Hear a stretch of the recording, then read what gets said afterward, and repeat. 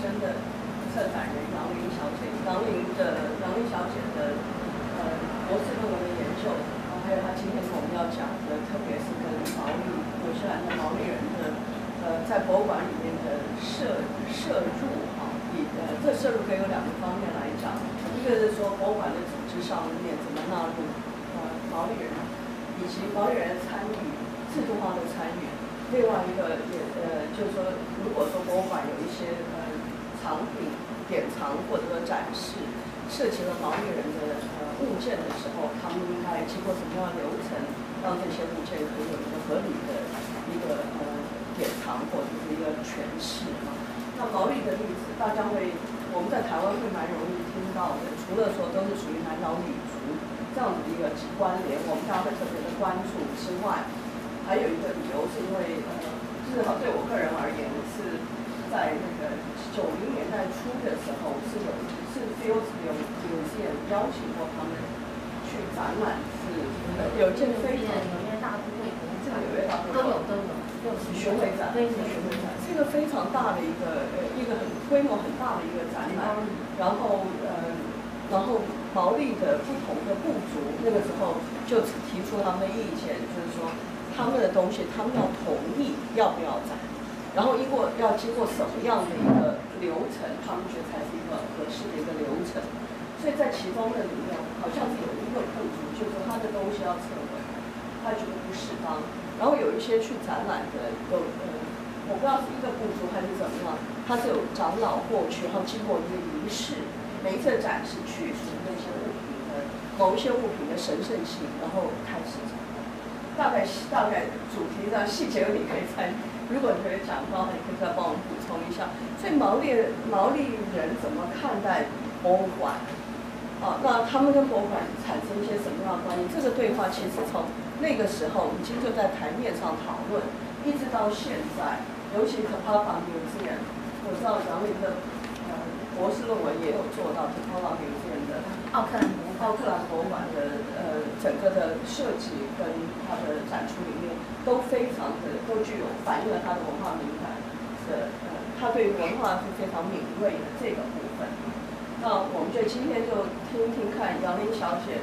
从她的研究经验、策展经验，尤其在呃签到那边，我们有两张，其中一张是两千零五年大洋中厅成立的时候，那这个有算是有没有展？常设展，常设展，常设展成立的时候，呃的呃一个文宣，应该算是个大洋洲电影节。谢谢，我就直接让你讲好了，比较清楚一点。好，那让我们来欢迎杨林博士。提到提到话啊，呃，彭老师，还有各位我们台北的最优秀的知性的呃年轻人，大家好。那呃我我坐下来好来操作电脑状况。呃，很高兴呃有这个机会跟各位啊一起共度这个人间四月天的一个夜晚，然后来谈一下这个我们园林中心的一个热议，就是 repatriation 物归原主的这个议题。那这个议题是从一九八零年代啊从北加好来开始延烧到世界各地。那因为我是呃工作的一些关系啊，不管是在做业务。呃，交交交流，就是都行。呃，或是，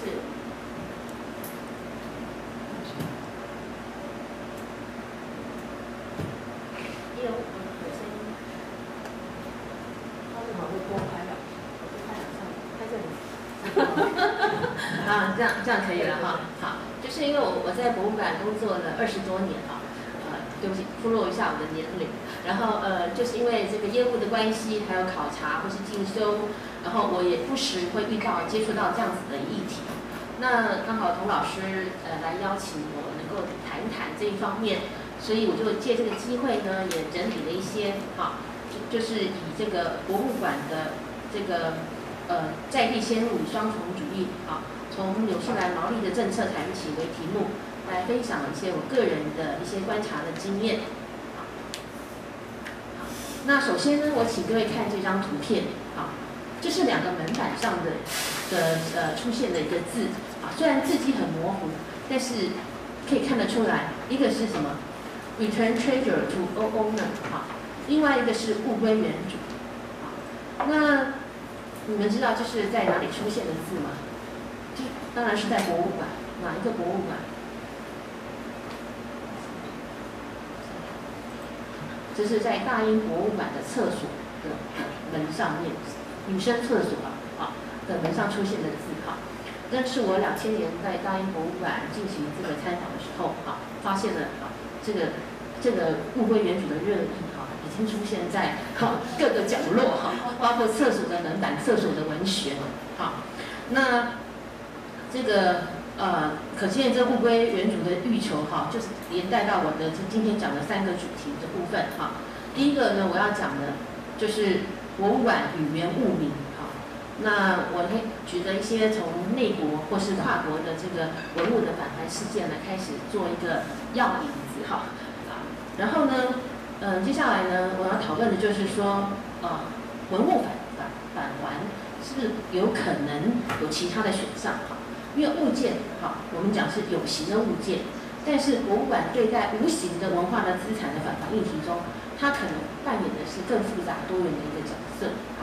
所以我的终极案例就回到童老师刚才介绍的，就是后减值后减值的这个时代啊。我是以奥克兰博物馆还有提帕帕啊纽西兰博物馆啊呃作为一个案例哈，因为这个两个博物馆呢，呃我认为是一个非常经典跟前卫的，作为一个参考示范的一个案例跟各位分享。那在谈这个议题之前呢，当然我还要从我们自己博物馆的这个部分来谈起啊。刚才也跟那个呃。这个童老师聊到哈，这个博物馆在科博馆呢，其实也有一件在两千零二年发生的物归原主的案例。那故事的男主角呢，叶氏家族也是我们学校的这个社会系的叶启正老师的家族。就是他的弟弟来博物馆参观中国心灵厅的时候呢，发现有一个神主牌位上面有写这个呃他们这个祖父的叶公继光及四位祖母哈。有四房的一些名讳，哈，那后来他就回去就禀告他的这个家兄，家兄就来跟博物馆联系，说这个东西是他们跟家族失窃的，这个失落在外的一些这个祖先牌位，哈，希望博物馆能够返还，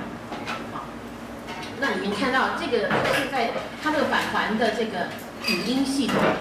媒体报道现在存在国家图书馆的数位服务的这个语音系统里面，哈，所以返还。这件事件是在博物馆来讲是一个非常慎重处理的事事件哈，因为每个文物入到博物馆呢，都会有个典藏的制度，会有一个委员的制度哈，都要登录到注销，都要有良好的管理。所以后来博物馆呢，也是请他出示证人，说这是他的祖父，所以他从日据时代的这个资料来证明他的祖父有释法啊。所以博物馆呃完成了这个这个呃呃召开了这个呃标本审议委员会以后呢，决定。就很干脆的就返还。那刚才董老师报了一个料给我，他说这才三千多块，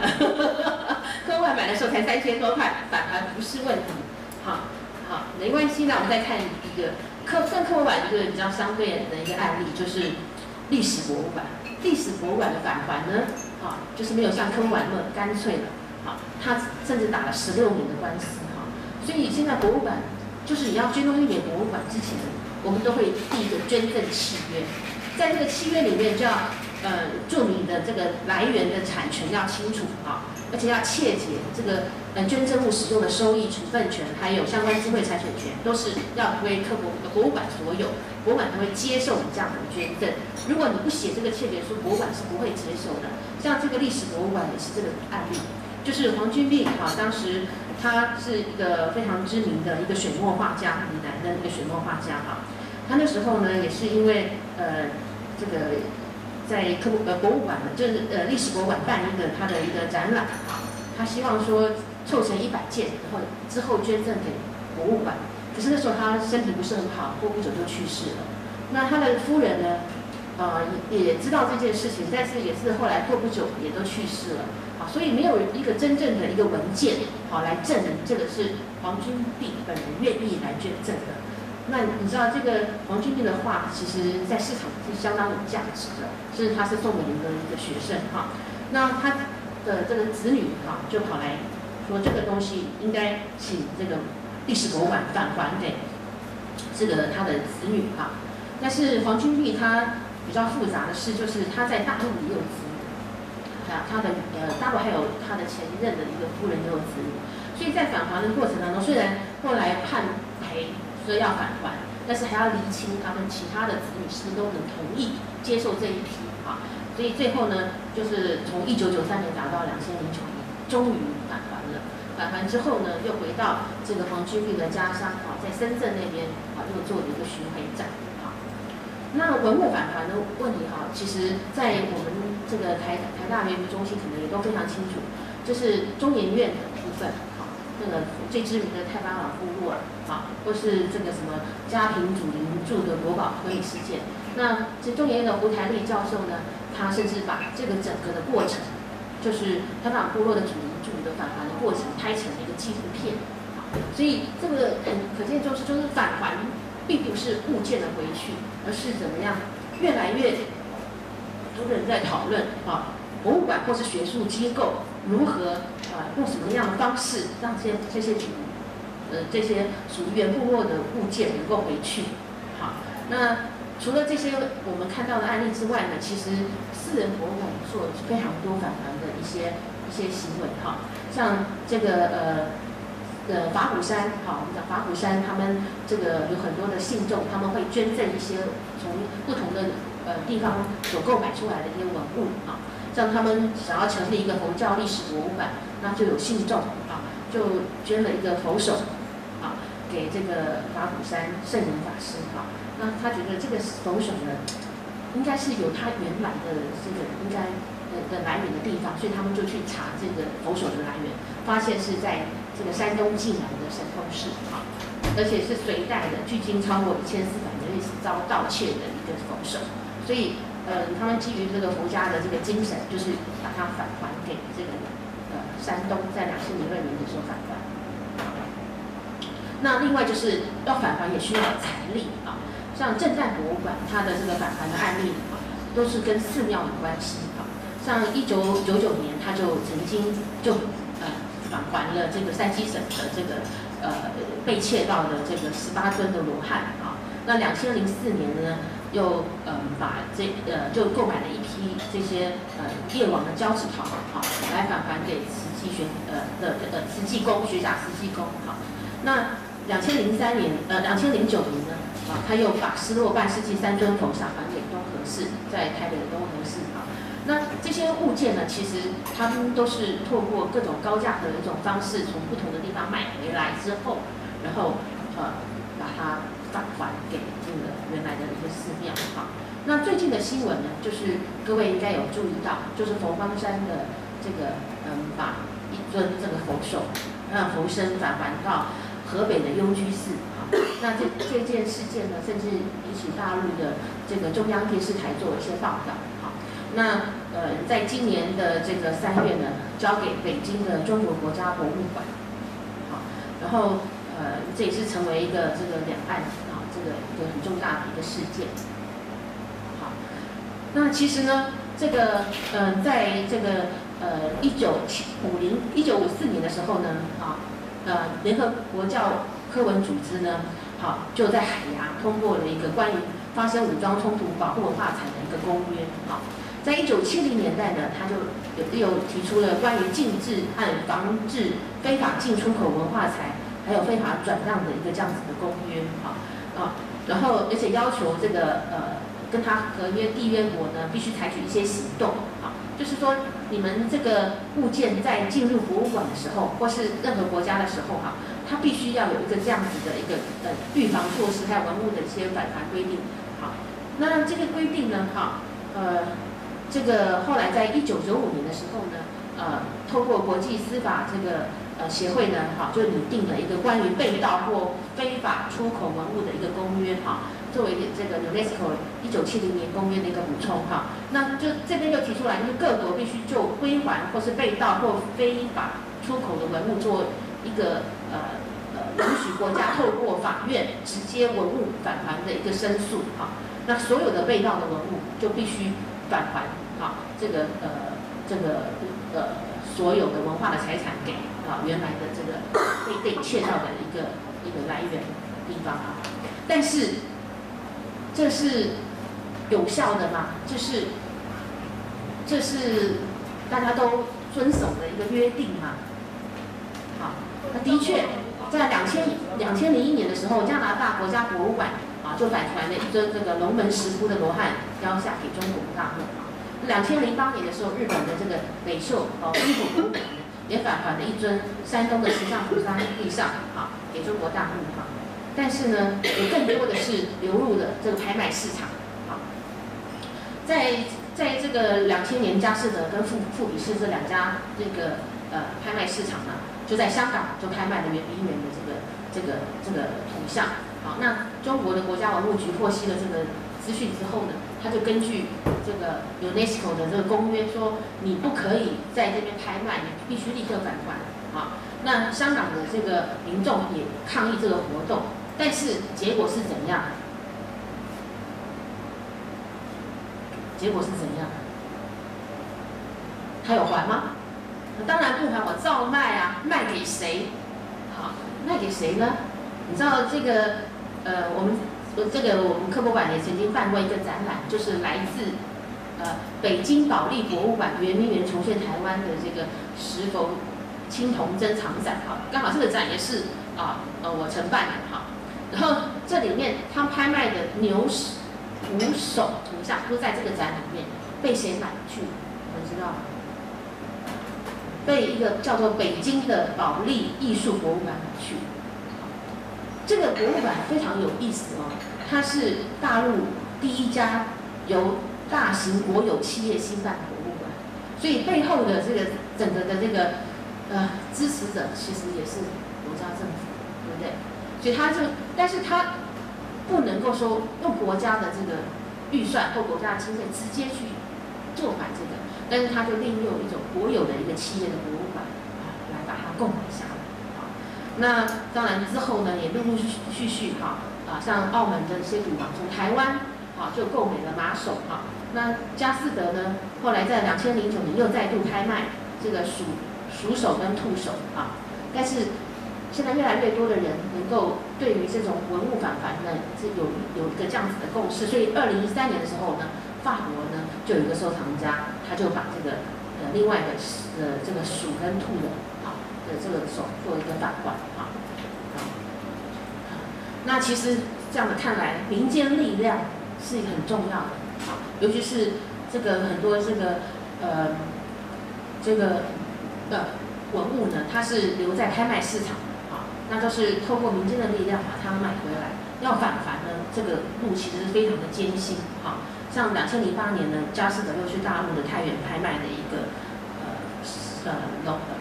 天龙山的佛像的佛手啊，用六百万的人民币啊，就是私人收藏家买下，至少他们认为是留在大陆。好，那台湾的收藏家呢，啊，也过去收购的一些文物，后来他一一比对之后呢，他也开始也是陆续做一些返还的一个动作啊，甚至在政治的人物呢，都会插手在这个仪式的这个过程返还的仪式的一个里面哈，像这个两千零三年的这个呃呃。送这个正阳古佛回乡呢，就是啊，用我们也是政治人物哈来做的哈。那其实呢，呃，对于文物返还这件事情呢，在我跟各位一样年轻的时候，我曾经修过故宫博物院当时的副院长李明灿的一个课哈，他呃叫中国的艺术史，他就提到了一个很重要的一个文物，叫做《女史箴图》。你们有听过《女史箴图》吗？好，那他认为这《女史箴图》它是。呃，在中国魏晋顾恺之哈，他所画的一个长娟的绢画哈，好，他说在一九零三年的时候呢，他曾经就流入到大英国。那二战之后呢，那个英国就提出一个这个对于释出这个一个诚意，就说好吧，因为我们都是这个同样的一个战线哈，那呃，应该叫做我们是同什么国呢？就是对抗这个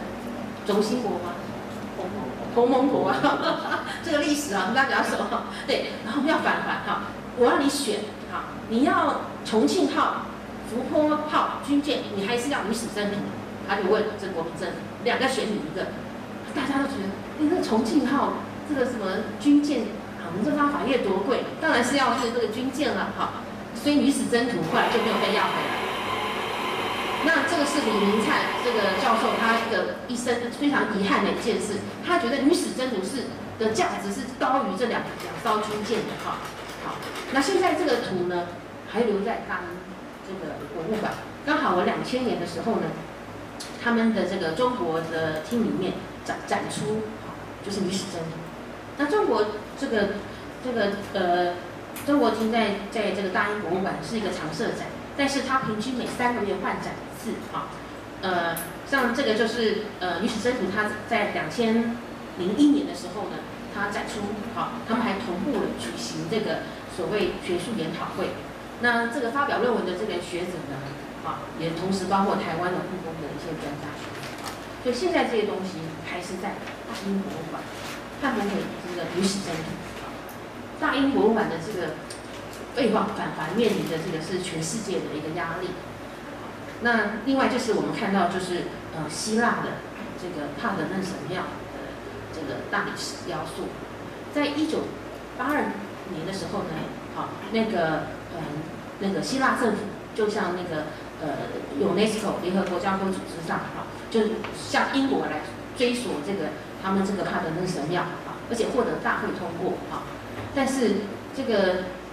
英国并没有返还，啊，所以他们在二零零九年的时候呢，他们在这个雅典的。帕德嫩神庙他的附近呢，新建了一个博物馆，啊，叫卫城博物馆，啊，你可以看到这个博物馆，他就用他东西全部都被英国人去收购，的啊，都到他们这博物馆里面典藏，所以他们只能用什么来表现？投影、图像、灯光来表现他们原来的这些物件，好，好，那而且那个英国一直认为说。他们是合法取取得，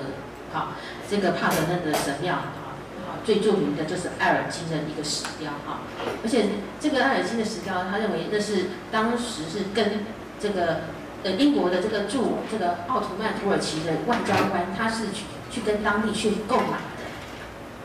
那从我们这个石雕上的命名，你会看出这两个的差异性，那个。埃尔金呢，它是就是当时那个外交这个爵士的一个名字，好，但是希腊方面呢，就是以大理石原出的脉络命命名，就是帕德嫩一个神庙，好，那英国有什么理由拒绝？你觉得他有什么理由可以拒绝规划？他总是要有一个说法，你看 UNESCO 就已经说你应该回还给人家了，他要有理由来拒绝，他理由是什么？你们觉得呢？啊同学，哎，我好像有有带赠品吗？对不对？好，回答同学送给他我们那时候人类学百年的的一个连章的这个明信片，请说。我印象中之前看到论文上说，那时候希腊是属于鄂图曼土耳其底下掌管，所以他就是那时候是鄂图曼土耳其统一的，然后他英国就是以这样他们这是他认为他的这个是合法取得的一个正说性的一个说辞啊。可是面对那么多文物，他应该要有一个一套说辞，能够面对所有的国家对他的追索嘛？不知道什么变世界博物馆，然后我记得有两种，一个是民族什么世界民族民族什么主义，这两个主义嘛，还是认为说就是他只要原脉络是正确的，那这个文物就不会被误解，那这个放在哪个地方？对，这个是有一点接近的答案，我们送他一个小卡片。哈，好，英国他就是说，我英国拥有全世界最好的这个保护文物的条件跟专业，他认为是这样。再来就是大英博物馆的展品不只是属于大英博物馆，他认为这属于全人类，开放给所有人。所以大英博物馆它是没有门票的，除了要特展给你收门票，它没有收门票啊。好，所以他认为大英博物馆的是。呃，有这个职责保护全人类的一个文化财哈，因为这个重点是，除了这个这个呃这个呃，刚刚我们看到了希腊哈，那我们讲说纽西兰吧，纽西兰它曾经是大英国协的一部分哈，可是它现在也开始跟这个英国大英博物馆追讨，尤其是它的这个纹面的这个毛绿的头骨，好像我们下次的展杜杜老师哈，就是特别会来讲这一部分哈。啊，那这个这个体卡卡呢，哈，它跟那个大英博物馆索赔的这个文件，竟然出现在大英博物馆的官方网站上面。看左边这官方网站，哈，好，那体卡卡在他们的这个呃记记呃记在纽西兰在他们记录里面，哈，他们至今已跟超过四十个国家来合作，来做这个毛利的全世界的文物的返还，啊，尤其是人骨遗骸的部分，哈。那可能有更新的资料，我们请那个杜老师跟大家再来更新啊。但是，但是，但是结果是什么？英国有返还吗？啊，这纽西兰他说我也我也参加了 UNESCO 在一九七零年代巴黎签署的这个呃关于禁止防治非法出口的这个呃公这个非法转让的所有权的一个公约啊。那你们大英博物馆是不是也应该试出一个诚意？啊，对不起，呃，这件事情现在还在热议当中，啊，目前并没有一个正确的一个确实的一个动作。啊大英博物馆特别特别不晓得对，后来是真的对纽西兰有特别的一个处置。啊，大英博物馆呢，其实它是接受一九六三年国会颁定的所谓《大英博物馆法案》的规制。哈那法案中呢，除了强调一些借贷文物之外，信托理事会啊有保护博物馆藏品的职责哈，啊来供这个社会大众使用，而且它禁止受限于任何的意义来注销 disposal 任何的一件的一个典藏品啊，这个就是它的尚方宝剑，免死牌。对他来讲，我今天是我是大英博物馆受我们国会法，就是不能 disposal 任何的一个物件给任何的一个国家啊。这个是他在法里面是受到他们国家的保障，啊，那现在呢，大英博物馆呢，呃，因为我那时候在两两千年之后有去做一个访访问动作啊，呃，他们是对于任何非法及来源不明的文物哈，无论是拍卖市场或是由文物兼刻低了，他们所呃呃呃就是呃就是要来呃卖给博物馆的这些物件，都要有相当的证明文件才能入场啊。那因为这个，你知道大英博物馆，他们现在博全世界的博物馆都在通缩，大家都是财力都非常的吃紧啊，甚至都会找 bank，就是银行家作为副馆长、副馆长啊，就是希望在裁员上面能够有更多的一个投入啊。那所以他们现在，我那时候去的时候就看到他们在他们的这个呃这个大厅啊，我们讲这个就摆了一个捐捐赠塔啊，捐赠箱，然后上面就放了一个他们叫梦盘。要来买的一个文物啊，这个是罗马的，呃，它上面写的，还拿了一张放在旁边哈，famous famous dog makes good home 啊，就是这个是罗马时代的的一个一个物件啊，然后他们希望来典藏它啊，然后呃这个希望大家就是透过这种民众的力量，好，大家有钱的捐钱啊，让他这个东西能够在大英博物馆找到一个好安息的地方。好这是我们看到的一个英国的案例。那我在一九九五年的时候，刚好是闰八月的时候，然后刚好在到到美国去啊。那你知道这个美国，呃，在一九九零年代啊，这个应应该是一九八零年代啊，这美国各个原住民部落就开始组织一些咨询会，陆续向博物馆直接提出文物部落的这个回归部落的要求哈。那在这个一九八七年代呢，美国印第安的国际会议就通过相关的这个解决方案，送交美国国会哈。在一九九零年十一月呢，就颁布这个所谓的美国原住民墓葬保护及归还归还法案哈。那就是经这个立法院还有这些这个一些原住民代表这个讨论之后呢，然后就开始在联邦的这个立法中就增列限禁美国印第安文物流到自由市场的这样子的法案哈，而且。这个，嗯，那那时候我刚好去这个美国的 Texas State 哈，他们是很多接近所谓的美国的西南地方的这个原住民，他们有相当丰富的一个收藏啊。那呃，我去的可能刚好才第一个礼拜就出现了一个事件啊，就是有一个美国小爱的这个原住民的这个咨询会的代表呢，他就要求来到这个呃。呃，Texas Tech 这个博物馆来看他祖先的这些文物啊，我记得印象非常深刻，就是他要来看文物的时候，他说要做仪式，啊，因为他要接近这些神圣的一些物件，他要去呃遵照印第安的传统的仪式来看这个物件，就是他要焚烧一些草药，好，然后告知主人。那为了这件事情呢，这个这个是晚年教授哈，他也是我们的系统好玩的教授，他在那边做那个呃文物保存的这样子的一个工作。那刚好刚好这个呃。他后来看起来大家就很紧张，为什么？今天在一个室内空间烧草会启动什么？消防啊，会洒水啊。这个全全也可能他不会洒水，因为呃他们可能会有呃看他们设计，可能有的是什么海龙啊那些气体啊，就可能会造成整个全馆的这个警报啊。但是他可能又又要尊重他们这样子的一个仪式的做法啊，所以那个晚梅他们也绞尽了脑汁，后来想到。哎，就干脆把所有的那个真烟孔都套着套子，让 他不会哈，就让他不会有感受哈，所以他就来开始一件一件看，他开出清单，他一件件要看。那这个呃婉梅教授呢，就跟他的学生就一件一件拿出来他看。他看了以后，他觉得哎，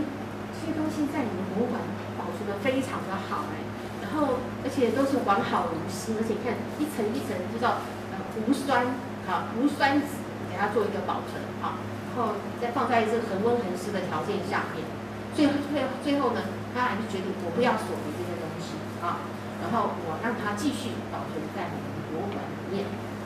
这是我们看到的是呃我自己亲身啊看到的一个案例哈。在一九九五年的时候，我也那时候也到了加拿大文明博物馆。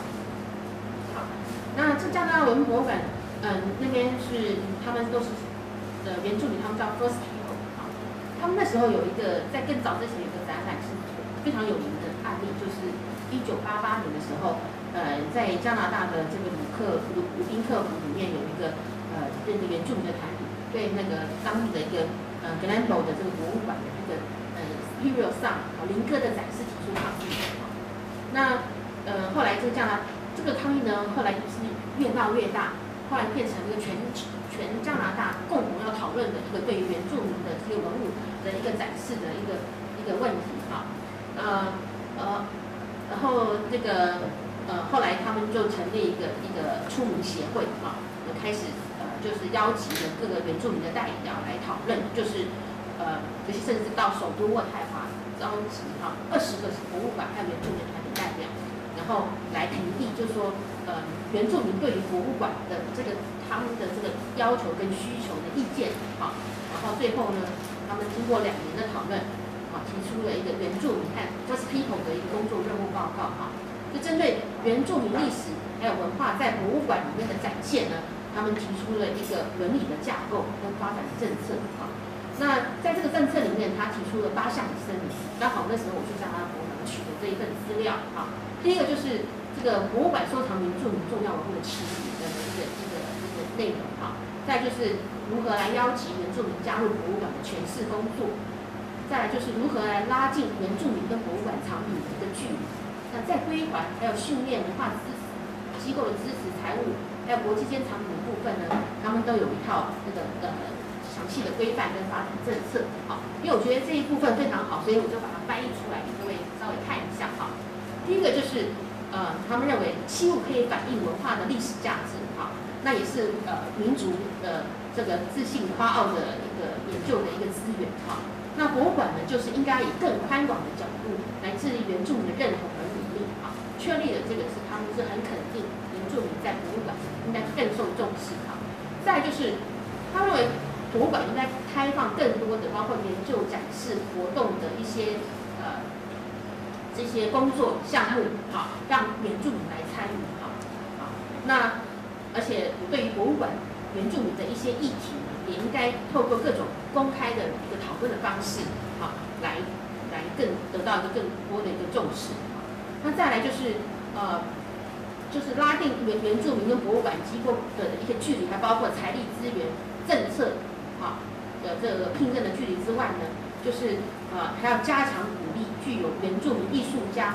他来创作在博物馆的他，而且博物馆收藏他的新的一些作品，并举办展示活动啊。那这个嗯，对于这个呃具有原住民身份的馆员哈，他可以协助博物馆其他非原住民的馆员啊对于这原住民的这个呃思维跟相看法是从主位的观点啊来感受原住民真正的需求啊，来拉近这个距离。再就是关于归还的部分啊，这是我们这次的热议 H H 的部分，就是文化机构啊，在这个这个出炉的报告里面，它归还这个原住民的遗骸，而且是用非法的方式取得的一些陪葬品、神圣器物，回去给原住民啊。那再就是说，因为他们把那个美国的案例啊，一九九零年这个十一月颁布的美国原住民的墓葬保护法案法法案啊，他对于这法案他们是有意见的。他觉得这个法案是不能解决未来的位置预预测未来的位置的问题，所以他认为，呃，虽然他不是真正的立法啊来做一个规制，但是他认为应该采取鼓励的方式，建议博物馆增强跟原住民的一个合作关系，后包括这个管理保存合作的一个指导原则是更重要的啊。所以诉诸伦理、诉诸道德，啊，对于用个案处理方式，他觉得这是一个更适切的一个做法啊。那对于非原住民和原住民，他认为都需要呃来加以这个训练啊，而且是以社群为一基础的方式啊，来增强这个相关的一个认同啊。那大会也也希望能够筹募这些相关的这个经费啊，能够帮助原住民在自己土地上来这个呃筹设博物馆啊，然后甚至说来取回生活在呃。其他国家的一些加拿大境外的一些文化器物啊，但是这样子的一个报告呢，会不会有受到其他的我们现场酸民呢啊的一些反应呢？有没有？会不会有什么反应？那其实，哎，你们可以讲你嘛，你们可以讨论一下啊。如果说你是非原住民啊，然后你觉得呃。这些呃原住民，他对于这个文物都声称这是他自己的啊，然后他想要取回啊，那这个嗯，那当然会有一些人他会有不同的意见啊啊，那持有相相相相对意见的人会认为哈，这个原住民他们只是加拿大文化的一部分，他当时他把他自己祖先的文物啊，如果说他是用啊这个呃买卖的方式把它。这个交给博物馆的时候哈，那如果今天要把它还回去，第一个问题就是说，他会好好的保存这些物件吗？再来，他会不会再又回到这个市场，自由市场去做一些拍卖？啊，然后因为他们有些人会认为说，他们可能照顾自己生活，可能都会有一点问题啊。因为我在加拿大文博馆的时候，也遇到了一个来自原住民部落的老师，他那时候就在加加拿大保伦区的原住民他他给我的一个。至今已经二十多年，他给我至今的一个很深刻的一个一个话术是说，hopeless。我不晓得为什么，他说在加拿大保留区的原住民，他感觉上就是一种对未来的对他们的未来感觉到是一个比较悲观悲观的一个看法哈。所以在这部分呢，其实所以在这一个呃博物馆啊，呃，有更多人觉得他应该扮演。这些更重要的一个角色，啊，不只是把东西还回去，还回去以后可能衍生更多其他的一个问题，啊，那这问题怎么样解决？这就是我下一个想要讨论的一个部分，呃，就是呃文物返还之外呢，有没有其他的一个选项的部分？啊，好，那这个，好，那我们来看一下哈。这个博物馆其实，呃，在过去我们在读一些什么 Andy Anderson，或者说博物馆也是一种想象的共同体，是不是？好，它可能是一个国家乃至大家的思想的一个重要的一个地方，跟学校、跟军队都是跟神经病院都一样。好，好，那现在呢？其实博物馆它并没有你们想象中那样子的不食人间烟火。好，它现在更强调它是一个创造的共同体。啊，这个啊，尤其是这个二零零二年之后呢，这个欧洲跟美国的一些重要博物馆呢，开始签署了一些啊普世博物馆的重要的一个价值的声明。第三名呢，主要也就是面对这个文物返还的一些声浪啊，他们来宣称博物馆呢，它其实是呃呃保护全人类共有文化财产普世的一个博物馆的永久的一个人类的遗遗产的一个价值。好，那那 ownership 拥有权，好，呃，赠所权，好，呃，物件归还，其实它其实还有一个非常复杂的一个定义。好，你怎么能够，呃，你你能够代表是谁？好，你能代表是谁来取回这些文物？那这个就是我现在所要讲的，就是现在有些呃不同的做做法在博物馆可以看到哈。那第一个我看到这个是 UBC 人类学博物馆，是呃他们叫卑诗大学，我们会翻译成哥伦比亚这个大学的这个卑诗的博物馆哈。它的人类学的这个收藏的一个库房，它现在就是把库房都透明化，就是因为它。很多的呃原住民呃或者他们 first people 他们要看祖先的东西，或者学生、老师或研究者，啊，他们要信服全世界，或是他们内部的一些各种观众的需求，所以他们就用透明化的收藏库，好，因为展出的展示场它的确需要比较重的一个装潢去来做呈现，啊，但是如果是一个收藏库的概念，玻璃化的概念，它会让更多的物件呈现在观众的一个面前。那再来就是我看到这个是加拿大国民博物馆案子，刚好在那时候做访访问的时候，他们正在整理一些呃巡回展啊，就是把原住民的文物送到他们的保留区做展示啊。你看他们这是一箱一箱的开箱确认整理，然后做这个呃呃叫做 condition report，就是状况报告之后呢，然后再把它一站一站讯息这样把它传递下去啊。但是这些。其他的这些呃原住民部落怎么知道你博物馆有我的东西呢？啊，其实这个资讯的流通非常重要哈。像这个不管是 t i p a p a 或是加拿大文物博物馆，它现在好像改成历史博物馆名称哈。那他们呢，像我那时候去的时候，他们就有一个庆系统，啊，它叫加拿大历史人文性博物馆共同使用国家文化产业资讯啊，加拿大的这个资产呃通讯网络啊，那简称就是。呃呃，CHIN，the Canadian Heritage Information Network，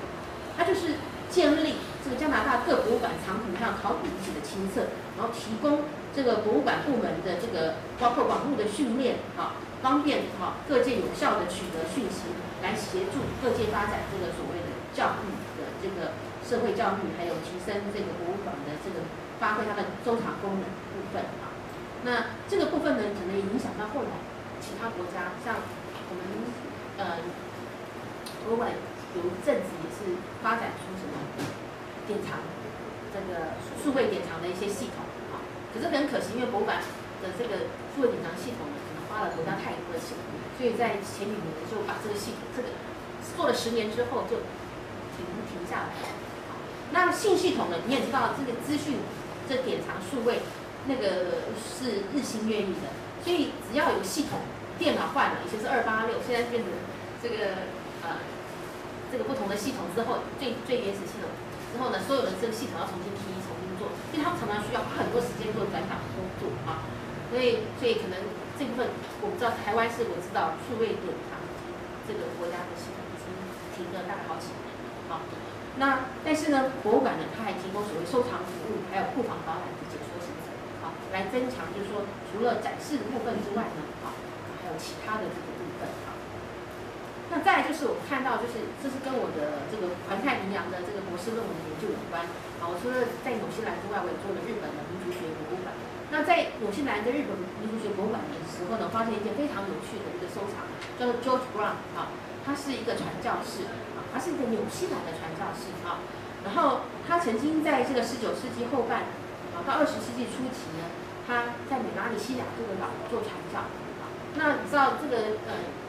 改很多原住民改宗之后，他会炫出他以前的一些呃保存的一些他们传统的一个神像或者是神主像或者各种像哈，那嗯他也拍摄了非常多的一个像哈，那这个这些藏品呢哈，这个呃他在逝世之后呢哈，就是辗转就是啊回到了英国啊。啊，甚至到这个英国的一个呃新堡大学附属博物馆做典藏啊，New Nest Nesto 啊，啊，那有趣的是，这个柴契尔夫人柴契尔夫人上台之后呢，大幅的删减删减这个大学的预算啊。那这个呃，所以那个新堡大学呢，啊，他认为说这一批典藏品是非常的精彩，因为是太大大洋洲的这些文物，在这个呃呃，我们讲这个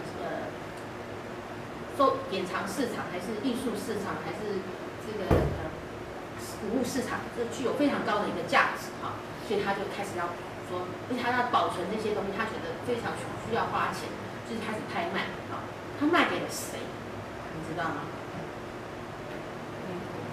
对他开，等于这个 真做的比较近的，他以多少钱？一百万英镑啊，就是卖给因为他开出的条件，你要买就全部买，不可以一件一件挑，好，所以就是一整笔就是交给民国。好。那民国那时候，日本的经济还不错，不会后来像现在的这样这个经济紧通缩哈，所以他就卖给了民国。好，那民国刚好有一位纽西兰的研究人员哈，叫做 Peter m a d y 他对于这批标本呢非常的重视，后来跟民国的另外研究大中的一个研究人员就开始一些计划，说要好好的来整理这些标本，甚至回到这个。呃，传教士他当时在纽西兰，在澳洲啊，他那时候呃一些故居啊，了解当时他为什么要收藏。后来那个 Matthew 告诉我，他说这个 George Brown 他收藏是想要做博物馆，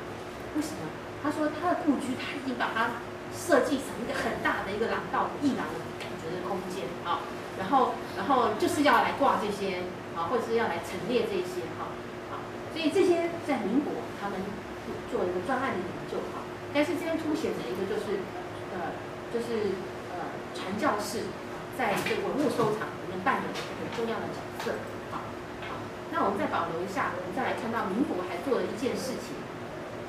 就是二零零九年的时候呢，他在顺义博物馆啊，这个呃办了一个百年来的一个名士啊，日本民族学博物馆珍藏台湾原住民博物馆的一个特展哈。那这个展览呢？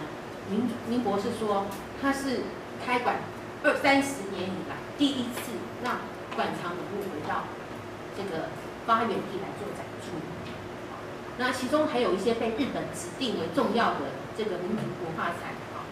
那那当然我们知道，呃，在日据时代呢，有非常多的日本的学者来来来这个台湾啊，在他们叫踩踏啊的日，在他们的日记里面都有写到啊，那。其实日本呢，不管是不只是民国，像天理参考馆或是国立东京博物馆，都收集了非常多的这些原住民的文物。啊，这时候联合报记者就就写了一篇文章，就说原住民文物返乡路遥，路更遥的看到更远，是另外一个，也是顺义博物馆的案例，就是嗯马街，好这个。马街是又是在日本人还没来之前的一个传教士，哈，他是呃在一八七一年的时候从呃打狗，就现在高雄登登上台湾的一个一个传教士，哈。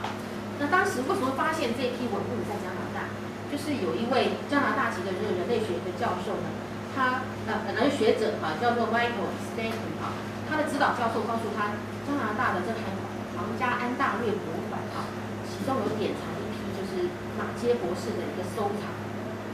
那你们知道台湾的第一座博物馆是什么时候成立的吗？是谁成立的吗？那是公社的博物馆。噔噔噔噔，就是马街哈。他来传教的时候，成立了台湾第一座博物馆，叫做牛津学堂标本室。好，所以他是因为在他的传教的这个之余呢，开始收集台湾的，包括呃。这个原住民的汉人的啊，就他的信徒捐给他的，捐赠给他，甚至一些自然的文物。他除了拔牙三万颗台湾的牙齿之外，啊，当然，当然后来在马街四四百年的时候，呃，这个台湾有做了一个研讨会，就叫什么名字，你们知道吗？就叫莫齿忘，好，好，但是你也不要忘记，他也收藏了非常多的台湾的一些文物，那这些文物怎么会跑到这个皇家安大略博物馆？啊因为马街是传教士，传教士也会休假，啊，所以他们在一八九三年第二次休休假的时候呢，他就把这些文物呢是带给这个他的这个母校，就是普诺斯的神学院的博物馆，啊，他来就是一方面就是说来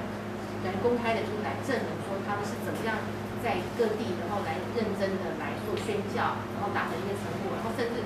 在很多的教堂，他们也做一些见证，然后那些信众看到这些文物之后呢，开始捐钱啊，捐力就开始就是来募捐募款，让他再继续他的宣教。好，那这个呃。这个神学院呢，后来因为孝子在一九一五年孝子迁址，所以他就把这些文物就交给了这个呃皇家安大略博物馆呃来典藏。好，那顺义博物馆知道这件事之后呢，他就呃请这个我们也是我们系上的林佳玉老师，还有那个许国明老师啊，就是组成一个团队，里面也有我哈。最右边的那个是加拿大文博物馆的何博士哈，他那时候也跑来看我们在做什么哈，呃，他从渥太华开车过来。然后我们就开始来去了解这批文物，有六百多件。那后来胡老师就选了一百九十二件。那批文物呢，后来就来台湾，啊，在马街逝世一百周年的时候呢，来做一个展览，让大家更知道这些文物，啊，是原住民文物以这样的方式回来。啊，除了这些，啊，我们可以看到更多的选项是像，呃，英国其实很多的博物馆，他们有所谓的 student room，那就提供更多的这个研究服务的窗口。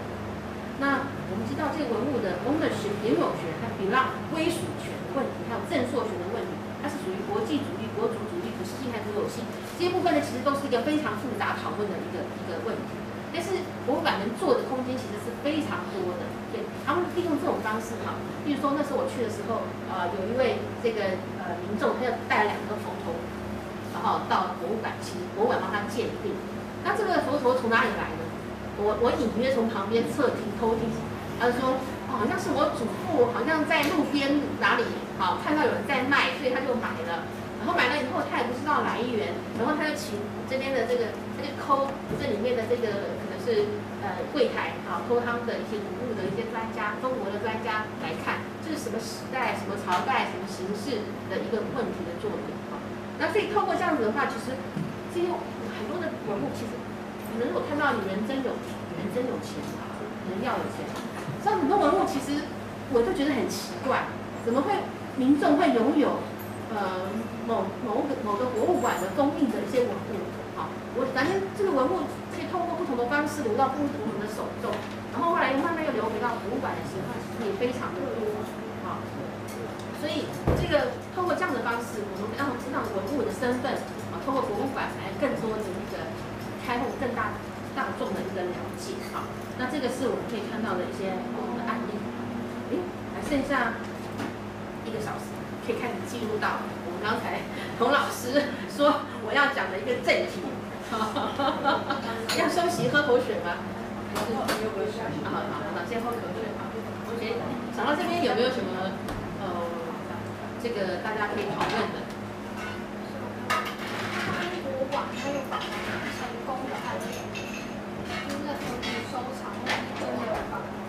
我跟你讲，每个每个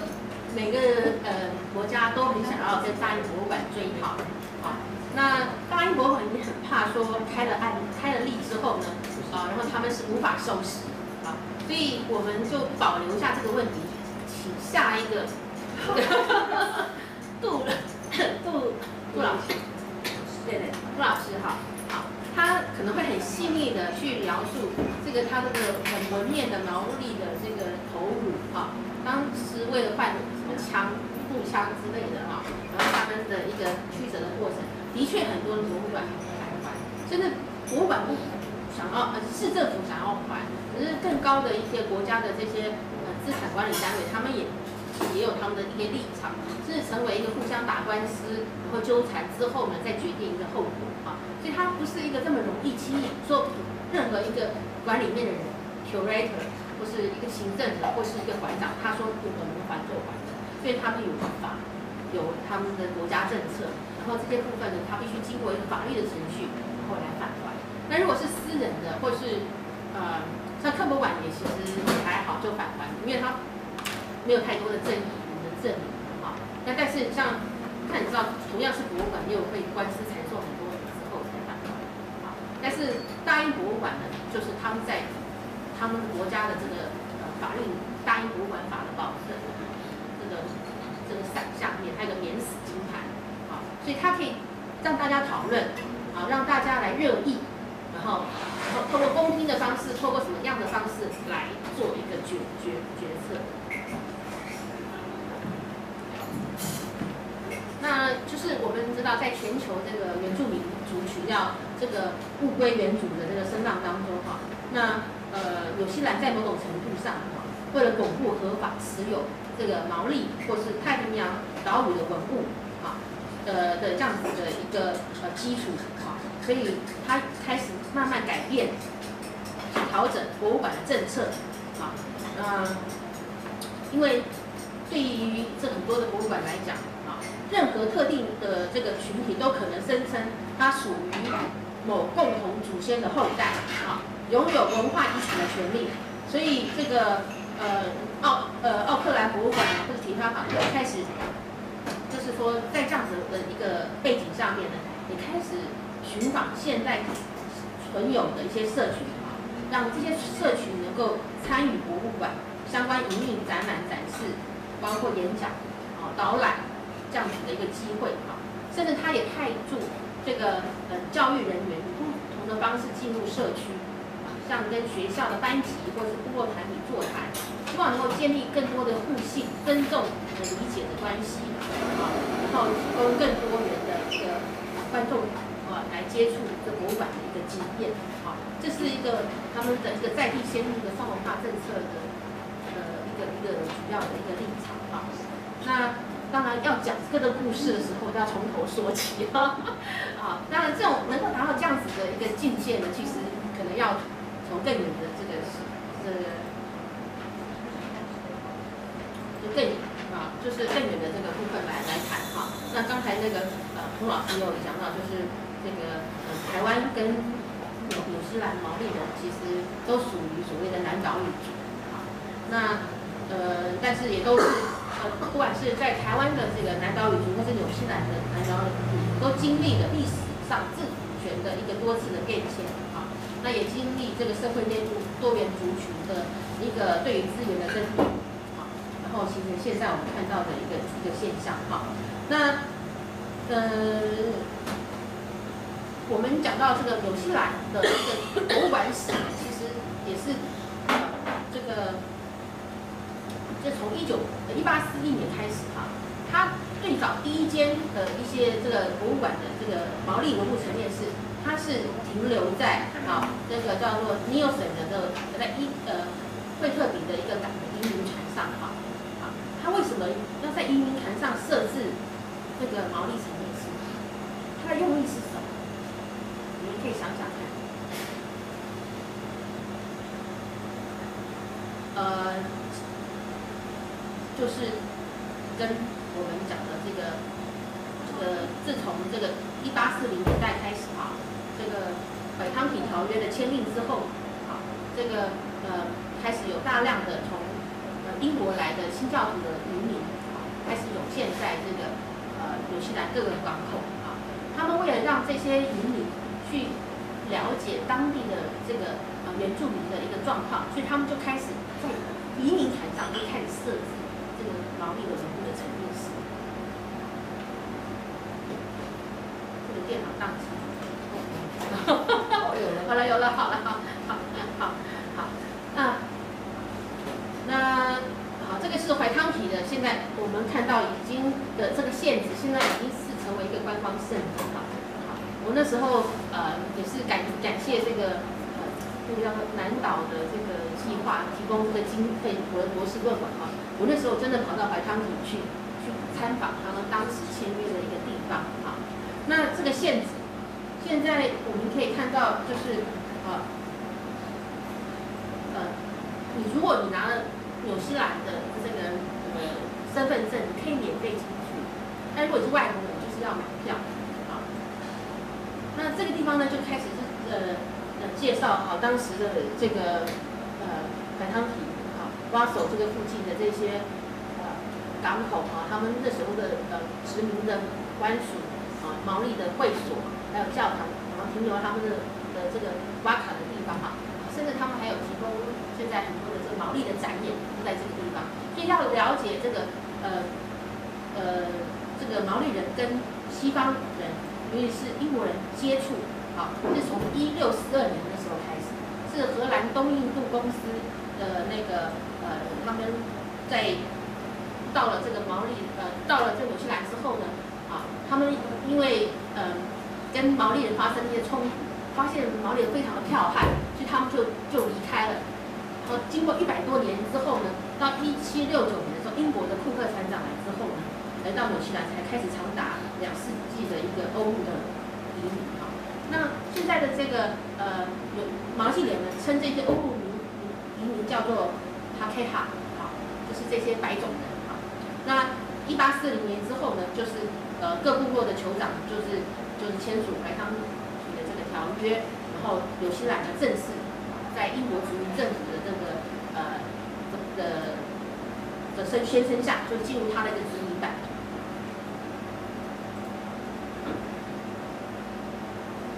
那在殖民初期的时候呢，他们你看才才他们才签署不到十年二十年，他们就开始在这个呃纽西兰的南北岛建立博物馆。那他们建设这个博物馆呢，主要也是提供给这个呃殖民地的这个呃作为一个展示的一个橱窗啊，来宣扬西方的文明，还有这跨国殖民为目的啊。再来就是他们透过了一些这个呃。国家的矿物权之类的啊，来大量的开发这个纽纽西兰呃纽西兰的当地的包括矿产、矿物的资源啊，所以当时的博物馆呢，这个收藏最多的是什么？你们知道吗？刚建立的时候，收藏最多的就是地质标本，地质标本就是他们博物馆最大众的一个藏品。那我这边特别介绍就是两个博物馆，奥克兰博物馆，还有就是这个提帕卡的博物馆哈。那奥克兰博物馆呢。它是呃纽西兰第一座啊政府支持做的一个博物馆哈，它现在也是全球收藏毛利和太平洋物质文化最重要的博物馆啊。那它当时是建立在这个奥克兰大学旁边的一个小木屋里面哈。那经过多次的一个呃这个迁建跟重建哈，那现在的规模是一九二九年，就是二次呃第一次大战之后，第二次大战之后呢。他们为了要纪念这个呃死伤的这个公路战场的纽西兰军人，所以他们设置了战争纪念的一个展示，所以把这个名字改成纽西兰战争纪念馆。但是他们现在也自称为奥克兰博物馆啊，这个都是现在都可以通用的啊。好，那嗯，当时呢，这个呃一九八呃一八五二年的时候呢，他们在这个嗯殖民政府的这个。这这个呃，在奥克兰大学成立的时候呢，他们也是收藏自然史为主，好，啊，然后包括像矿物、鸟类、贝类跟昆虫，啊，那也有一些毛利的标本。那之后呢，就是呃，发现说很多的这个文物呢，开始除了收集文物之外，也把这些文物输输往公路大陆。它也是作为一个输往欧陆大陆的一个转机站，好，好，那这个问题呢，同样的是出现在啊提帕帕这个博物馆。那提帕帕博物馆呢，它更直接了，它就叫殖民地博物馆。它在一八六五年的时候成立，好，然后呃一九零七年的时候改为领地博物馆，后在一九七二年呢称为国家博物馆。到一九九二年的时候呢，呃。就称为这个呃纽西兰博物馆，而且用毛利的这个呃语言来命名啊。其实不同的这个呃从殖民到后殖民时期，不同的馆名、馆址啊，还有首长的变迁跟交换，都映照了这个纽西兰人对博物馆的态度跟期许，同时带动了他对历史跟认同的一个看法啊。看这个就是呃，而且博物馆呢，在这个呃。不管是殖民战争、全球化、新移民的政治力量的冲击下面啊，然后呃，从过去把这个原住民视为奇风异俗的他者啊，到现在啊，作为一个国族的一个象征哈，它其实是有一个不是一触可及的一个过程，而是一个慢慢演变的过程啊。好，那我们怎么看它演变呢？我们现在以提帕帕博物馆为啊，那这个呃提帕帕博物馆它是。呃，威灵在威灵顿啊，就是本来奥克兰是作为英国在纽西兰的一个首都，后来他们为了要平衡南北岛，所以就把它迁移到威灵顿啊。那所以在迁移到威灵顿之后呢，他们就开始在议会的后方的小木屋成立这个博物馆啊。那呃，刚刚我们就说到殖民政府大量的开采当地的矿产资源，所以当时的一个馆长，他本身就是一个地质学家啊啊，然后呃，把为什么叫殖民博物馆啊？很明显就是除了从海外输入欧洲的一些器物，他也从欧洲啊。输入了一些器物，你看在奥克兰博物馆也好，啊，提帕博物馆，他们有相当多一些欧洲的一些古物，啊，他会把它作为复制品，或把它呃运送到这个呃纽西兰，来增强这个呃欧裔移民对新国家的一个认同，啊，那在某种情况下呢，他也是不断的就是把呃关于这个在地的一些不管是矿产、呃文化资产，啊，然后往收入大陆。做做互相的一个传送，好，那那在这个时期呢，啊，我们知道演化论，演化论是达尔文演化论啊，啊，呃，在他们在做这些文物陈列的时候呢，是一个很重要的一个博物馆的思维，所以他们也把这个毛利的这些文物呢，按照这个动物相同的一个分类方式做一些排列排排列啊，而且呢，把这个毛利呢当成自然史博物馆的那种原始的。一兵发手的活化石的方式啊，来做一些展示。那这些展示呢，就跟欧洲的白种人的殖民的先进的这个文明呢，形成一个先进的一个对对比。但是因为这个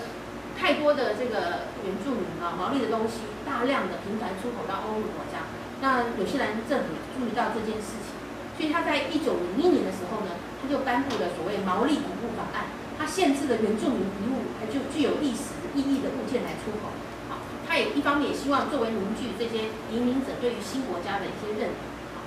你看到这个法案呢，好，呃，里面就有对于毛利这件古物啊的一个定义来做一个详细的说明啊。如果说你没有经过允许，啊，把这些毛利古物往其他地方运送的话的一些法则，哈，在这边也有做一些拟定，啊。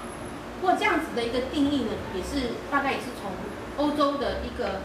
呃本位的角角度来做出发，好，然后就是对于这些来的来到纽西兰的移民，他们只是希望能够更认同这个国家。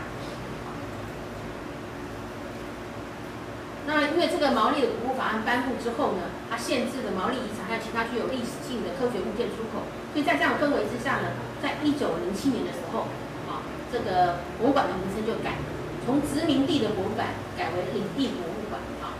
那可是你会看到这个博物馆呢，非常有趣的，就是它的这些建筑，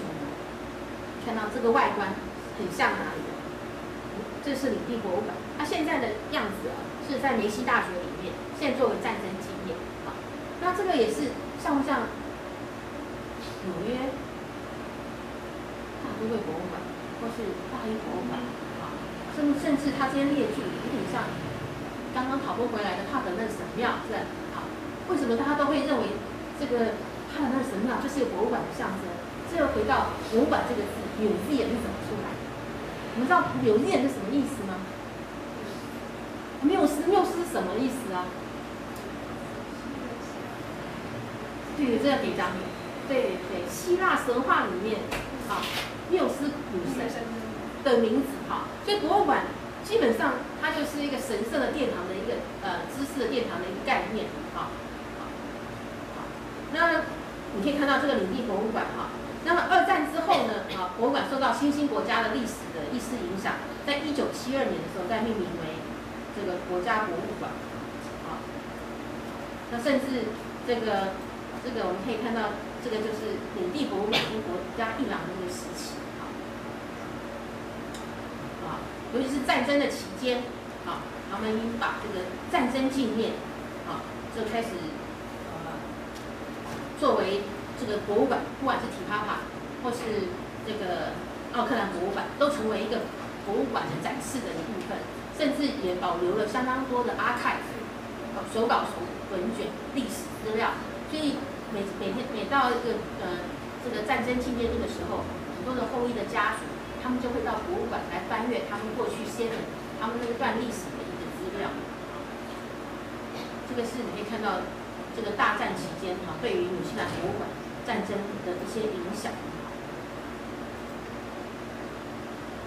那二次大战之后呢，那纽西兰开始重新的审着国家认同跟世界定位啊。那一九七零年代开始啊，这个呃，因为越战啊，还有就是这个跟英国的关系越来越远啊。那这个长久以来主导这个英同化的政策啊，或是英英英国的这个认同开始逐渐瓦解啊。那另外一方面呢，纽西兰啊，就是的一些原住民也开始啊，受到比如说呃美国啊，他们要求这黑人的这个黑黑权，还有就是呃性别主义的影响啊。所以开始也慢慢成立的一些抗争团体陆续成立，啊，希望能够回复毛利人的土地、语言跟文化为诉求。因为我们知道《海康体条约》签订之后呢，有非常多的解释，啊，那英国以它的版本为主，所以到时候呃很多的土地呢，就是它就是大量的啊让有呃毛利人大量丧失他的土地，啊，那所以他们开始要求重新这个毛利人开始要求官方开始重新定位。这个所谓的白汤体的建国的文件啊，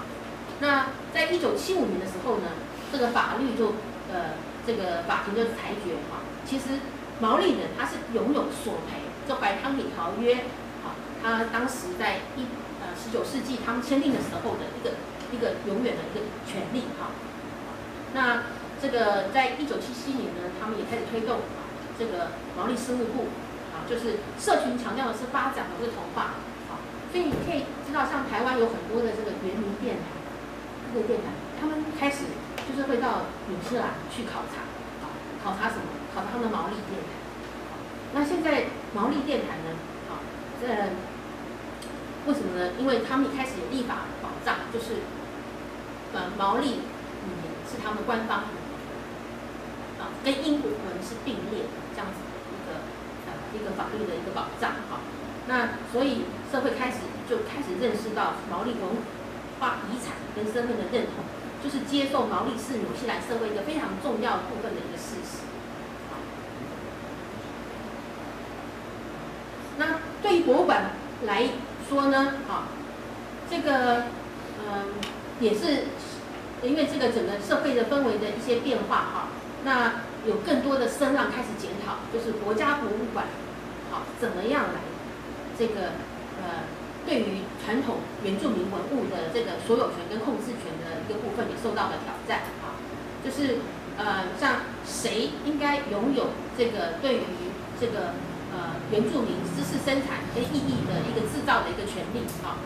那博物馆是否是最适合来保存或是诠释这些原住民的珍贵遗产还有生活方式的一个地方啊？那博物馆的社会地位是什么啊？那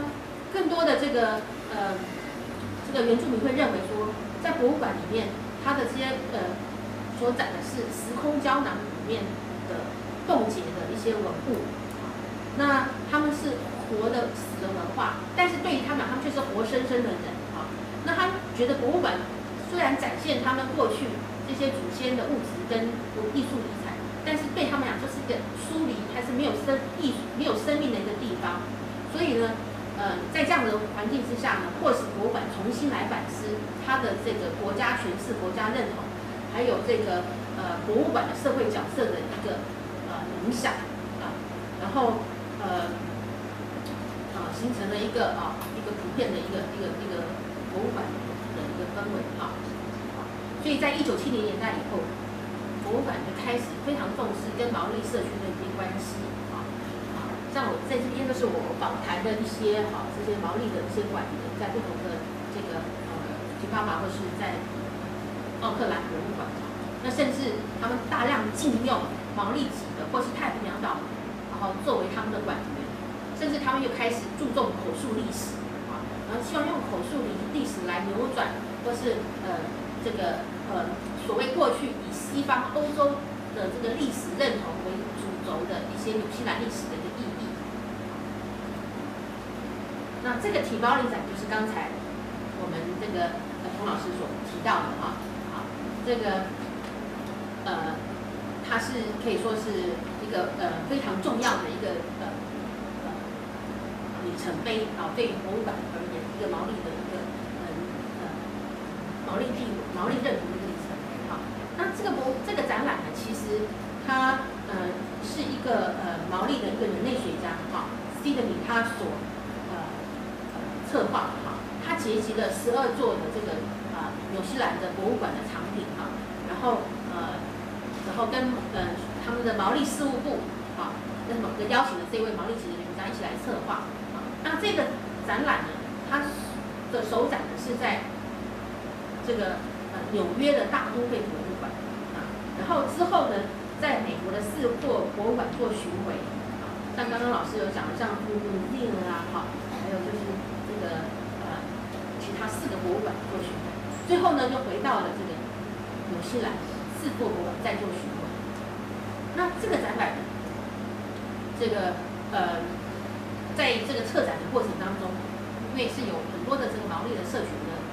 人来加入哈，所以他们在开幕的时候呢，他们也会邀请当地的这个部落的组长哈来参与这个活动哈。呃，他是以文化复振啊作为一个重要的这个呃。数的一个对象哈，来增强他们对自身遗产的认同的一个很重大的意义啊。那他开幕的时候，你可以看到啊，这个是又回到了提帕呃，那时候还不是迪帕帕，就是他们国家博物馆时代的时候，他们的那个开幕的现场仪式。同样的，他们在呃其他的这个包括美国其他博物馆开幕的时候，他们就会邀请到组长啊，通过他们这个神圣的跟祖先告慰，说这些遗产啊，现在带到了这个不同的国家。让大家来能够欣赏我们毛利的珍宝、毛利的文化的一个深邃跟悠久的这个历史啊。然后它另外还有一层意义，就是这些文物可能它有它大的禁忌性，不是随时可以出示在其他的这些呃的空间里面。所以透过这个仪式来净化那个空间，然后解除这些禁忌，让很多人参与到看到这个展览，他不会受到一些主流的相关的这个他们认为的一。些影响的一些影响，其实这个部分我自己本身有深刻的一个感受哈，因为在二零零八年在博物馆做了一个巴卡普阿纳那时候也上了电台，就是，哎，等那个 story 有空再说。这个禁忌一定是要解除的，对我们这博物馆来讲，就是，呃，这个是，这是有亲身的体验哈，好，好，好，所以在。这个展出来以后，我们可以知道，这个呃，其实，在另外在社会的时代背景是工党执政哈，那他通过了毛利的语言的法案哈，就是呃我刚刚讲的毛利语、英语、手语并列为官方语言，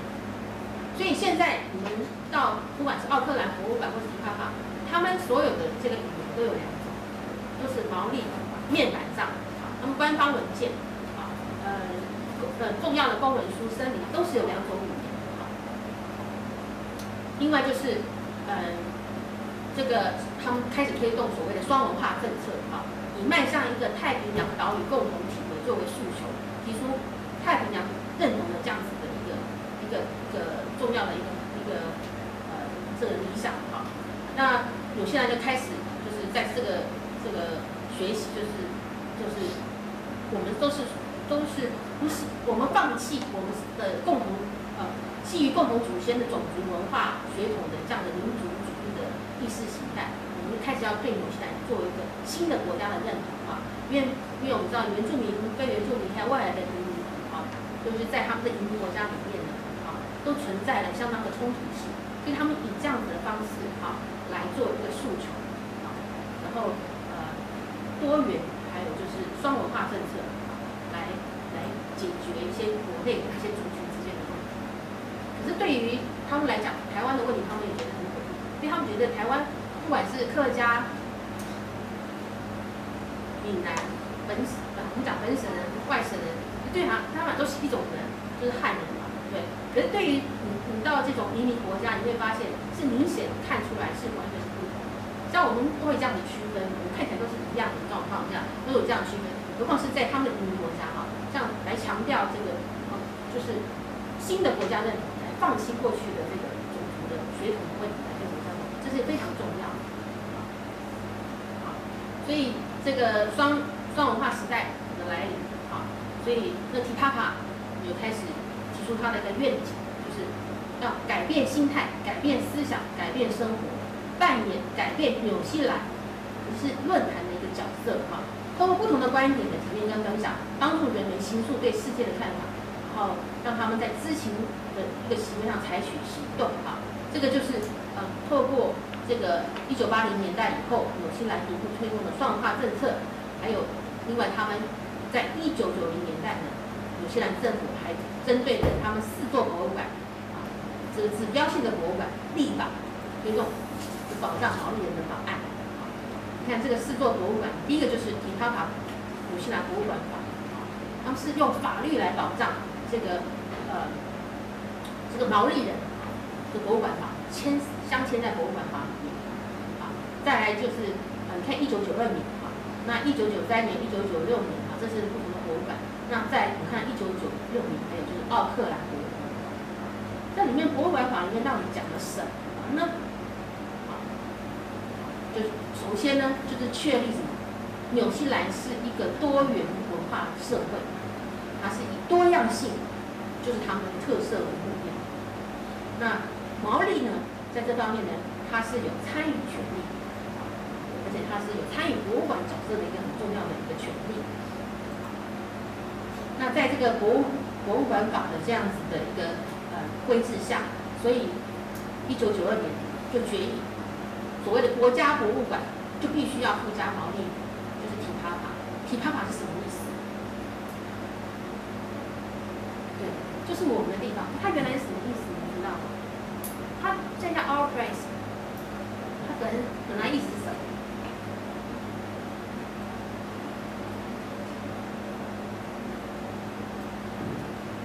？treasure，存放宝物的，就是我们的地方。所以，所以这个呃，毛利的权利是从《海汤体条约》就开始就有啊，好，而且是博物馆必须跟纽纽西兰的这个毛利人建立所谓的伙伴的关系啊，这个是他的一个政策，很重要的政策。那这个博物馆法通过之后呢，啊，那这个体帕卡博物馆新馆在一九九八年二月十四号情人节那一天啊，就是经经过四年的这个重建之后呢。在现在的的现实上看，看看到哈，然后它的重心就是要加强社区关系，包括服务设施、收藏活动、整体服务，它要扮演的就是国家遗产、教育、休闲、观光的一个重要角色啊，作为改革跟创造国家理想的一个表征啊。可以看到，这个是他们的这个保利的殿堂，多漂亮的地方，这个像什么？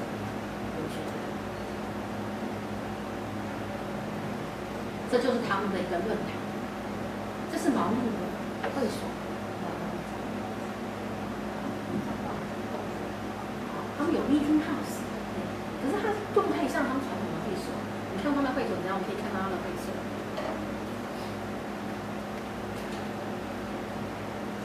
所以，好，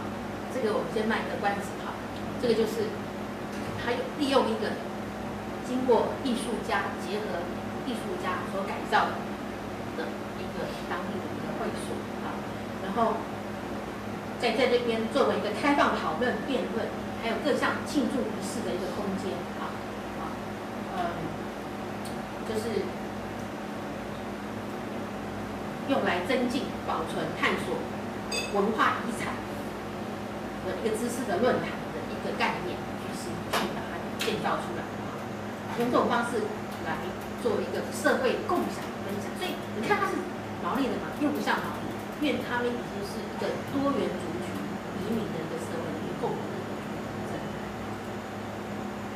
那我再给各位看下一张，这个是体泡泡的一个 logo，这 logo 是什么？为什么他会用 logo 这个 logo 来作为他们的一个一个博物馆的一个 logo 一个形象？你不能偷看下面了。为什么？因为海海康体好那个英跟英国人签订的时候，你知道南岛族是没有文字的，因为我们的平埔族那时候跟汉人签约都是盖什么？盖手掌印，对不对？他们是盖他们的指印，啊，所以这个指印就改变了族纽西兰族群相遇的一个历史，是不是？所以他们用这个指印，哈，看他们在他们博物馆的，甚至咖啡上都可以刻出这种 logo，在太神奇了。他们的这个馆员的制服，啊，他们甚至这个是我跟他们青旁边青年旅馆，他甚至把这个 logo 里面把他们博物馆里面的展示全部都融在里面，好，好，事务台，啊，都是这样子的 logo。时间好像有点过得很快，好，好，那我，好，那我们现在要讲的就是，我们因为我们今天都是有讲政策的，哈，讲它的政策的部分。那根据这个体帕法的这个法之后呢，他们的这个呃博物馆的组织架构呢，哈，也做了一些调整。你看这个就是一些功能、责任、功能的一些部分，哈。那我们可以看到另外一个组织图，可以看到，哈，这字看不太清楚，就是啊，在一九九五年之后呢，就是采取 CEO 还有毛利领袖的共治模式，就是。博物馆采取双手掌的制度来确定毛利族参与博物馆的治理跟运作啊的一个权利啊。这个你看，这个就是啊，这个你看这个是他们 CEO 旁边就会有一个以毛利的一个所谓的领袖啊，说他对对博物馆一起来治理。像那个我那时候去体帕卡的时候，他们的毛利的这些馆还会开毛利语言课，就是让其他的这个嗯非毛利语族。的人来学啊，因为他们所有的文件现在都要双语，所以他们也要开始要学习毛利啊。甚至我发现 Google 也有毛利语，是的，真的啊。而且他们网络上都有毛利字典哈。好，你能看到这个好毛利领袖啊，这更清楚。他掌管了什么？啊啊，推动工作就是推动毛利遗产文化发展创新，还有跨文化对话，并提供指导毛利文化事务的这个咨询。的这些部分，奥克兰博物馆也同样的是，呃，在奥克兰这个博物馆法的规制之下呢，他们也开始在他们组织上啊做了一些变革。可以看到这张啊，就是他们在二零零七年的组织架构图啊，他们根据他们的这个奥克兰博物馆法啊，他们设定的这个毛利代表，他们现在做出。他们现在这个博物馆法规定，就是他们现在要有一个所谓 trustee，呃 trustee，trust board 啊，信托理事会啊，旁边呢一定要有一个呃毛利的一个首长级的会议来做指导，好，另外在他们的组织的这个六组架构里面，还有一个毛利组，这毛利组是做什么的呢？好，听到？对于毛利价值观议定书、祖先遗前呃遗存不归还、毛利价值观培训、组长关系管理、毛利珍宝资料库管理、毛利计划、珍宝研究与出版啊，是他们这个部门的一个重要的一个呃一个任务是在这一部分。那二零零八年呢，哦，因为我刚好是二零零八年去的时候，他们有个新的馆长上任，又做了一些调整。那在馆长的这个下方呢，他们设立毛利合作发展的这些部门，好，那甚至在这个呃成立所谓的毛利评价小组，那这个是呃奥克兰博物馆的这个毛利评价小组的一个成员，啊，那他们就是负责啊，针对这个毛利的烫感啊，就珍宝，还有人群的诠释是否采用毛利人观点，能否被毛利人接受，这些事物做一些评估。那这些呃呃毛利评价小组就来自他们全馆不同的部门的专业，啊然后包括像管理、收藏、展示、诠释、行销这方面，他们做很多的一个建议啊，而且来支援很多相关的毛利的重要的仪式的一个展演活动。好，那那时候访谈的一位这个毛利级的这个呃管员，哈，是教育人员，他就认为说博物馆应该鼓励更多毛利人参与哈，然后。跟社区更多的连接跟互动啊，所以所以所以在这个博物馆里面，我们看到，当然还是会有些酸民会觉得不太习惯哈。现在好像经过了这个博物馆法的一个约制之后啊啊，这个毛利的这个地位、毛利的权利好像已经优于其他的族群的感觉啊。那所以就会在这个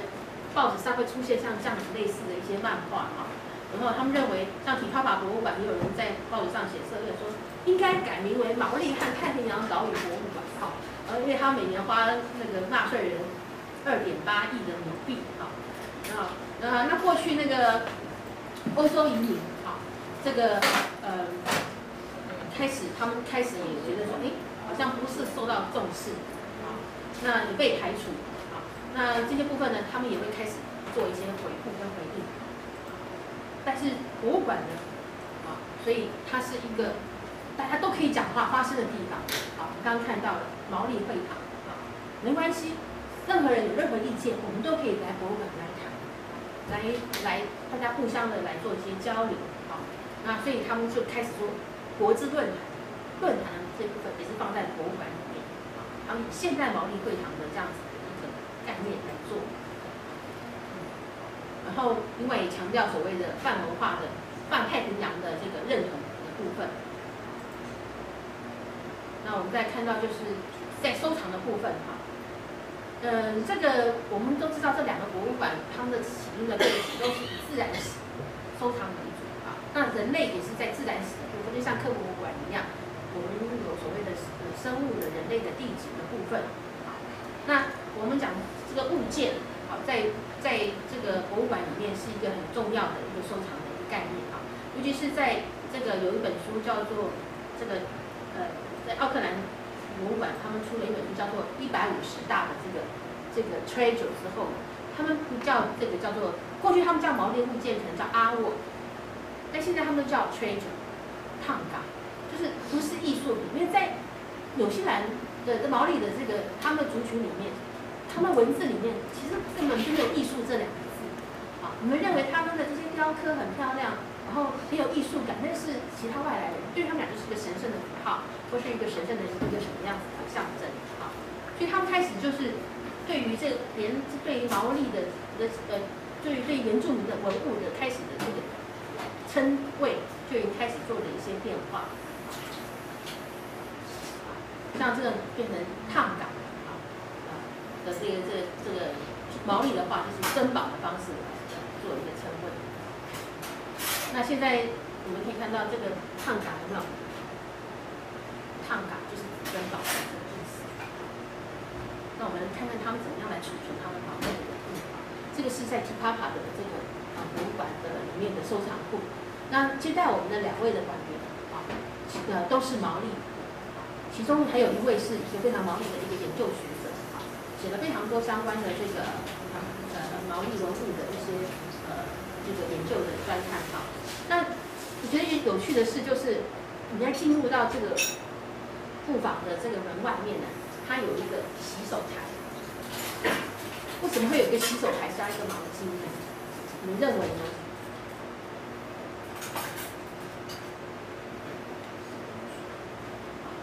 字很小，也看得到。因为他们觉得这些文物是神圣的，所有进出的这个人员呢，都必须要先洗手，洗完手以后头上要洒的水，向毛利祖先表达谢意之后，你才能够啊进去到他们这个库房里面啊。那这个就是再来看就是奥克兰博物馆哈，啊，奥勒奥奥克兰博物馆呢也是一样啊，啊。嗯，在他们这个毛利厅里面就有句话，就说我们看待 artwork 就像看待人一样。对我们而言呢，许多代表祖先真正的人，随着这个时代所消逝，啊啊，但是他活在我们的记忆里面。啊所以这个我们看到的文物呢，我们会想到它它真实的一个存在。啊，那我们跟它共同写出现代的一个毛利的一个国度。所以在这个毛利厅里面啊，呃。他们他们设了所谓管辖一百五十大的这个珍宝里面，在毛利厅里面，我把它整理出来有有几件哈，让大家看一下。啊，它这个是他们的这个嗯门门楣上的一个堂口的一个装饰。你在他的这个记录里面可以看到，他是怎么样来进馆的。好，每一件他都有做一些说明，什么时候收购。因为时间的关系呢，我就先挑几件给各位看哈。因为我们这边讲到物归原主嘛，啊，你可以看到这个每一个物藏的过程呢，其实都是有点复杂哈。有的是呢，呃，那时候为了战争，族族内战争哈，他们把它埋下在水下面保存。那之后呢，然 后然后又被把它捞起来，然后又辗转的经过怎么样过程进入博物馆。那其中我们看到这个是呃战船独木舟的船首哈，啊，来源是英王乔治五世啊，可以看到他整个的一些过程哈，好，这个跟我们的 repatriation 有关系啊，从英国的乔治五世，怎么又又回到了这个。这个奥克兰博物馆，现在呢，这个是英国皇室长期借贷给奥克兰博物馆的藏品，是从一九二五年开始，它是以借贷的方式存在啊。好，那再来，我们再看一些，啊，看这个也是每一个博物馆的一些物件的进来，都是非常的复杂。尤其是在珍宝，都大概是在这个呃呃二十十九世纪下半年，大量的重重要的的的这个入场就是在那个时候啊。你可以看到这个也是《怀汤底条约》签署之后，交给一个某个爵士长期借贷给博物馆展出。后来，奥克兰美术馆跟奥克兰博物馆合并之后，就在奥克兰。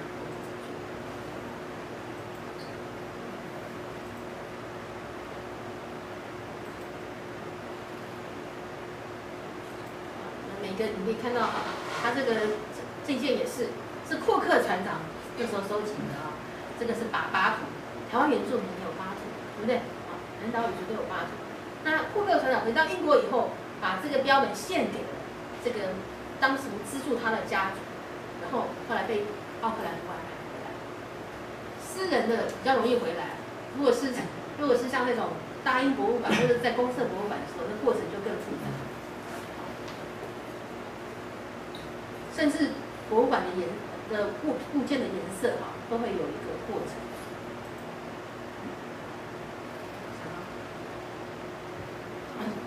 好，那这个呢？对，好，看到没？看这件，好，这个呢，这个刚才这一件很有意思的一点就是，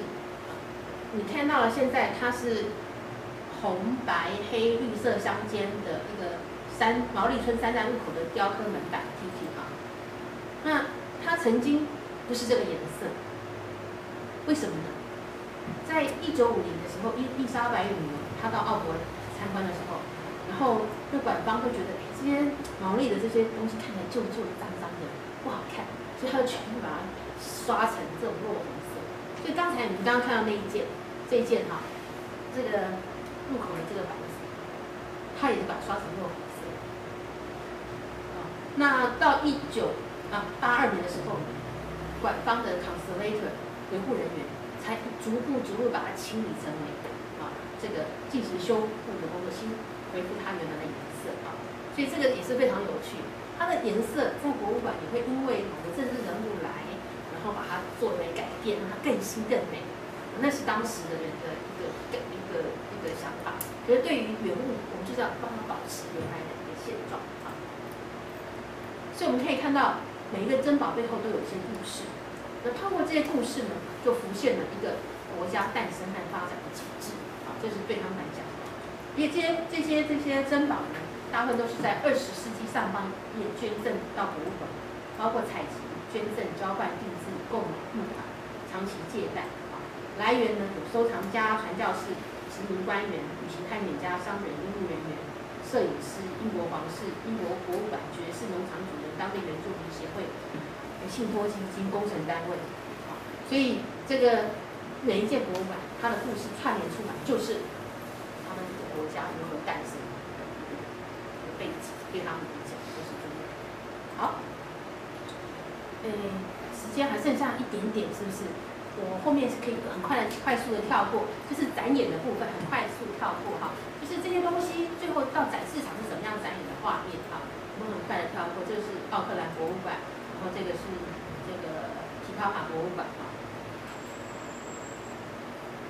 这个他们展演这个会所还有储藏屋的这个现现状。那再就是我们知道很多这个南岛旅途是透过船才到达毛利的，好，在他们在这边呢，我们可以看到，对于船对他们来讲非常的重要，那甚至在这边有个角落，啊，是毛利部落特展区，它是每隔两年和不同部落合作推出一个展览，啊，希望用用来增进传统跟现代生活的一个连接，啊，那这个艘呢是毛利最后的一艘作战用的独木舟，啊，因为到到达纽西兰以后，他们就开始这个船功能跟过去航海移移民的大探点是不一样的，都是用战船的方式，所以毛利人它是一个多意义的多层次的一个代名词，在纽西兰并不是一个啊时空胶囊的一个代名词。另外，他们有强调就是太平洋的的这个认同，对他们讲，因为他们收藏非常多波利尼西亚的一些文物啊。那这边有一只牛，我也觉得非常有意义。这牛是用什么做的？你们知道吗？罐头。对，罐头为什么用罐头？对，因为这些传发来的传单都是罐头，象征西方输入对岛民呃生活的影响啊。我们现在买的奶粉都是纽西兰，知道吗？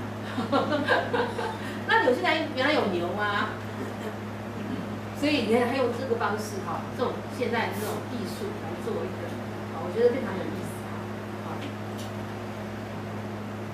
另外就是建国标志，他们现在对于那个海汤体的这个条约签署过程的历史争议，啊，他们用这种列出的方式来各各方说法，用这种方式来做说明。那这个就是护照 passport，知道大战期间有非常多的移民有入到新西兰啊，那都是有些有护照，有些没护照。那在他们这个展展板上面就写血液的分流散落到遥远的国度。你看他的护照的单元里面，每一张都是一个人的脸，每个人点进去就是每一个人他们的到纽西兰的故事。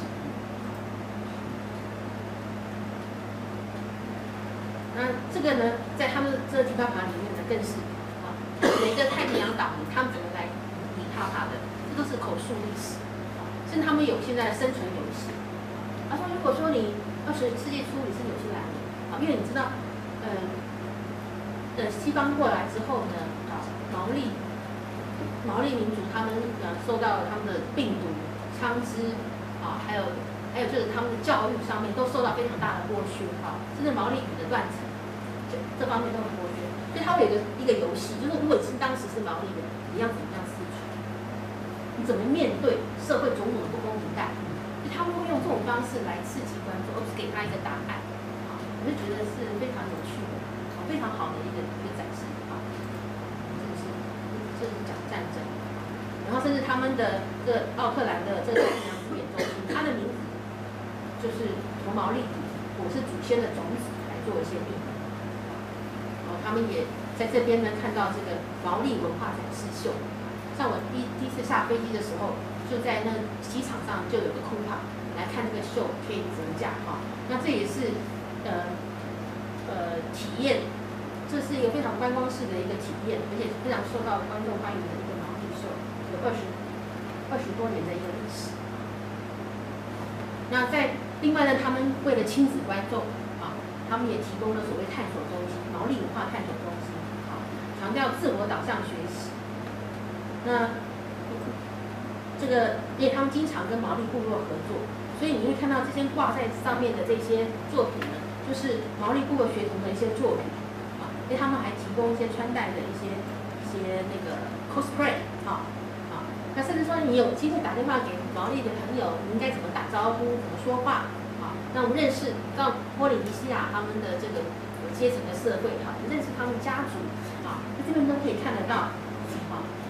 在这个这个亲子互动的餐馆里面可以看得到，甚至这个特别说明一下，在这个墙上呢贴满了各种像羽毛的这些树树叶上的这些片啊，这个树叶片片的树叶，其实每一片树叶呢，就是都是来自啊纽西兰各地的学校，他们在毛利新年的时候，他们博物馆呢就会寄这些树叶片给他们，然后。告诉他说，毛利人过过新年了哦，然后你们在这一年啊，你们学到了什么？然后，嗯，嗯可以跟大家分享的哈，就它一方面传递毛利人最实际的知识，鼓励这个呃孩童哈，透过这些分享、这些创作寄回来给博物馆，博物馆把它拼贴到这个部分，呃，让这个毛利学童博物馆之间产生的更紧密的联系。你看到不同的小朋友，他有好多好多的创意，他告诉这个呃大家说他在这一年他学到了什么，他也知道毛利要过是一年，这是一年的要开始，呃一年的一个结束。那另外他当然也是太平洋岛民的部分哈，他们也是展现了非常多的创作啊，也是让亲子非常自由活动的空间啊，像知识拼图啊、学习啊、啊触摸、表演、发问、研究、学习的部分啊。那在 YouTube 上面，其实你可以看到很多是从博物馆他们提供的口述历史，啊，像这个对于白康体条约他们的观点，啊，他们现在也开始走这方面的一的一个分享。那重点就是要多元文化的互相尊重、认同、去的生命教育，对他们讲是非常重要的啊。所以他们有非常棒的一个情境的剧场，讲纽西兰的故事。那这里面就不止只有看到毛利，还包括新来的一些移民，他怎么共同参与这个社会啊。另外呢，他们也推动了非常多的这个呃呃这个 traveling 大型的车，像瓦卡摩安娜哈，它原来是一个研讨会。他来来讲说大洋洲人怎么样来做迁移，从哪台湾出发，然后横越大洋，最后在一千两百年前啊七百年前到达了纽西兰啊。那这个旅程呢，他觉得非常有意义，所以他做巡回展的时候就一直在跟我们谈。那台湾非常重要，他希望沿着这个这个南岛语族迁移的路线一站一站这样子迁移下去啊。那这个就是在台湾哦科博馆展出的一个情形。好，啊，也吸引非常多的观众来参观哈，那这个就是它的这个保险包装，还有在民国的时候它展演的，像右边民国的一个展演的情形啊。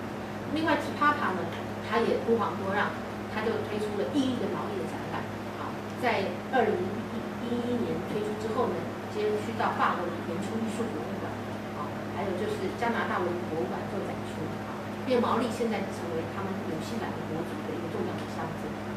他们通过这些展览啊。他们啊，像这个啊，也建立很多的外交的一些管道啊，也是像这个跟这个呃日本或是中国啊，他们那时候呃，好像他们也庆祝他们要建交多少年，所以他们也提出推出一个交换展览，他们也是以毛利国作为主题啊，所以呃，博物馆从殖民开始就伴随着这个纽西兰走向后现代国家啊，现到现在有个规模啊，在一百六十年来的这个解释力量的运作哈，你可以看到这个呃，面对这个岛屿生态和族群间复杂的这些创伤跟纠葛，博物馆它还是力求这个寻回历史的真相，来重建这个文文人文环境的元素跟纯粹，而且重点是尊重不同族群的自我论述的主体性。所以博物馆过去我们讲到它的教育、娱乐跟充实人生，现在更多的强调就是要探索。享受，好，那而且是过去是由上而下，现在更多的是主食跟受食的的一个反转，好，那现在纽西兰呃全国大概有七百一十座的博物馆，好，那其中呢有六十八座跟毛利族有关系，好，好，那我们讲到这个博物馆最呃的一个嗯。这个重要的一个功能哈，过去我们讲到是缪斯的知识的一个殿堂，它是一个收藏的宝库啊，它是一个展做展示啊，做民族记忆啊，做社会教育啊，甚至现在更强调休闲跟娱乐啊。最近中华民国博物馆学会他们就强调，未来的博物馆有更多的餐厅，更多的 shopping 的地方，更多休息的地方哈，然后我们提供更多的服务啊，然后有更多的一个论坛。那面对博物馆的这个角色的日新的跃移，我应该在各位讲说，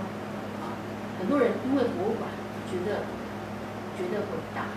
自己的主持人很伟大，好，好，最后呢，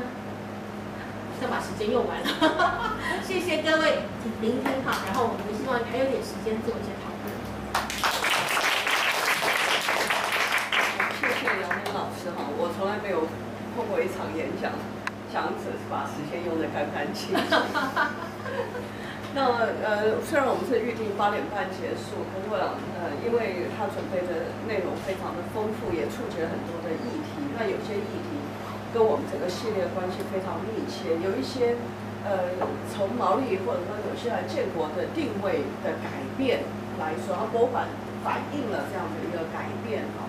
那这样子一个今天他整理出来，从这个角度争论，我们不不继续问，有点可惜哈。所以我们就还是。我们就不要多费时间，我们有路都赶快问，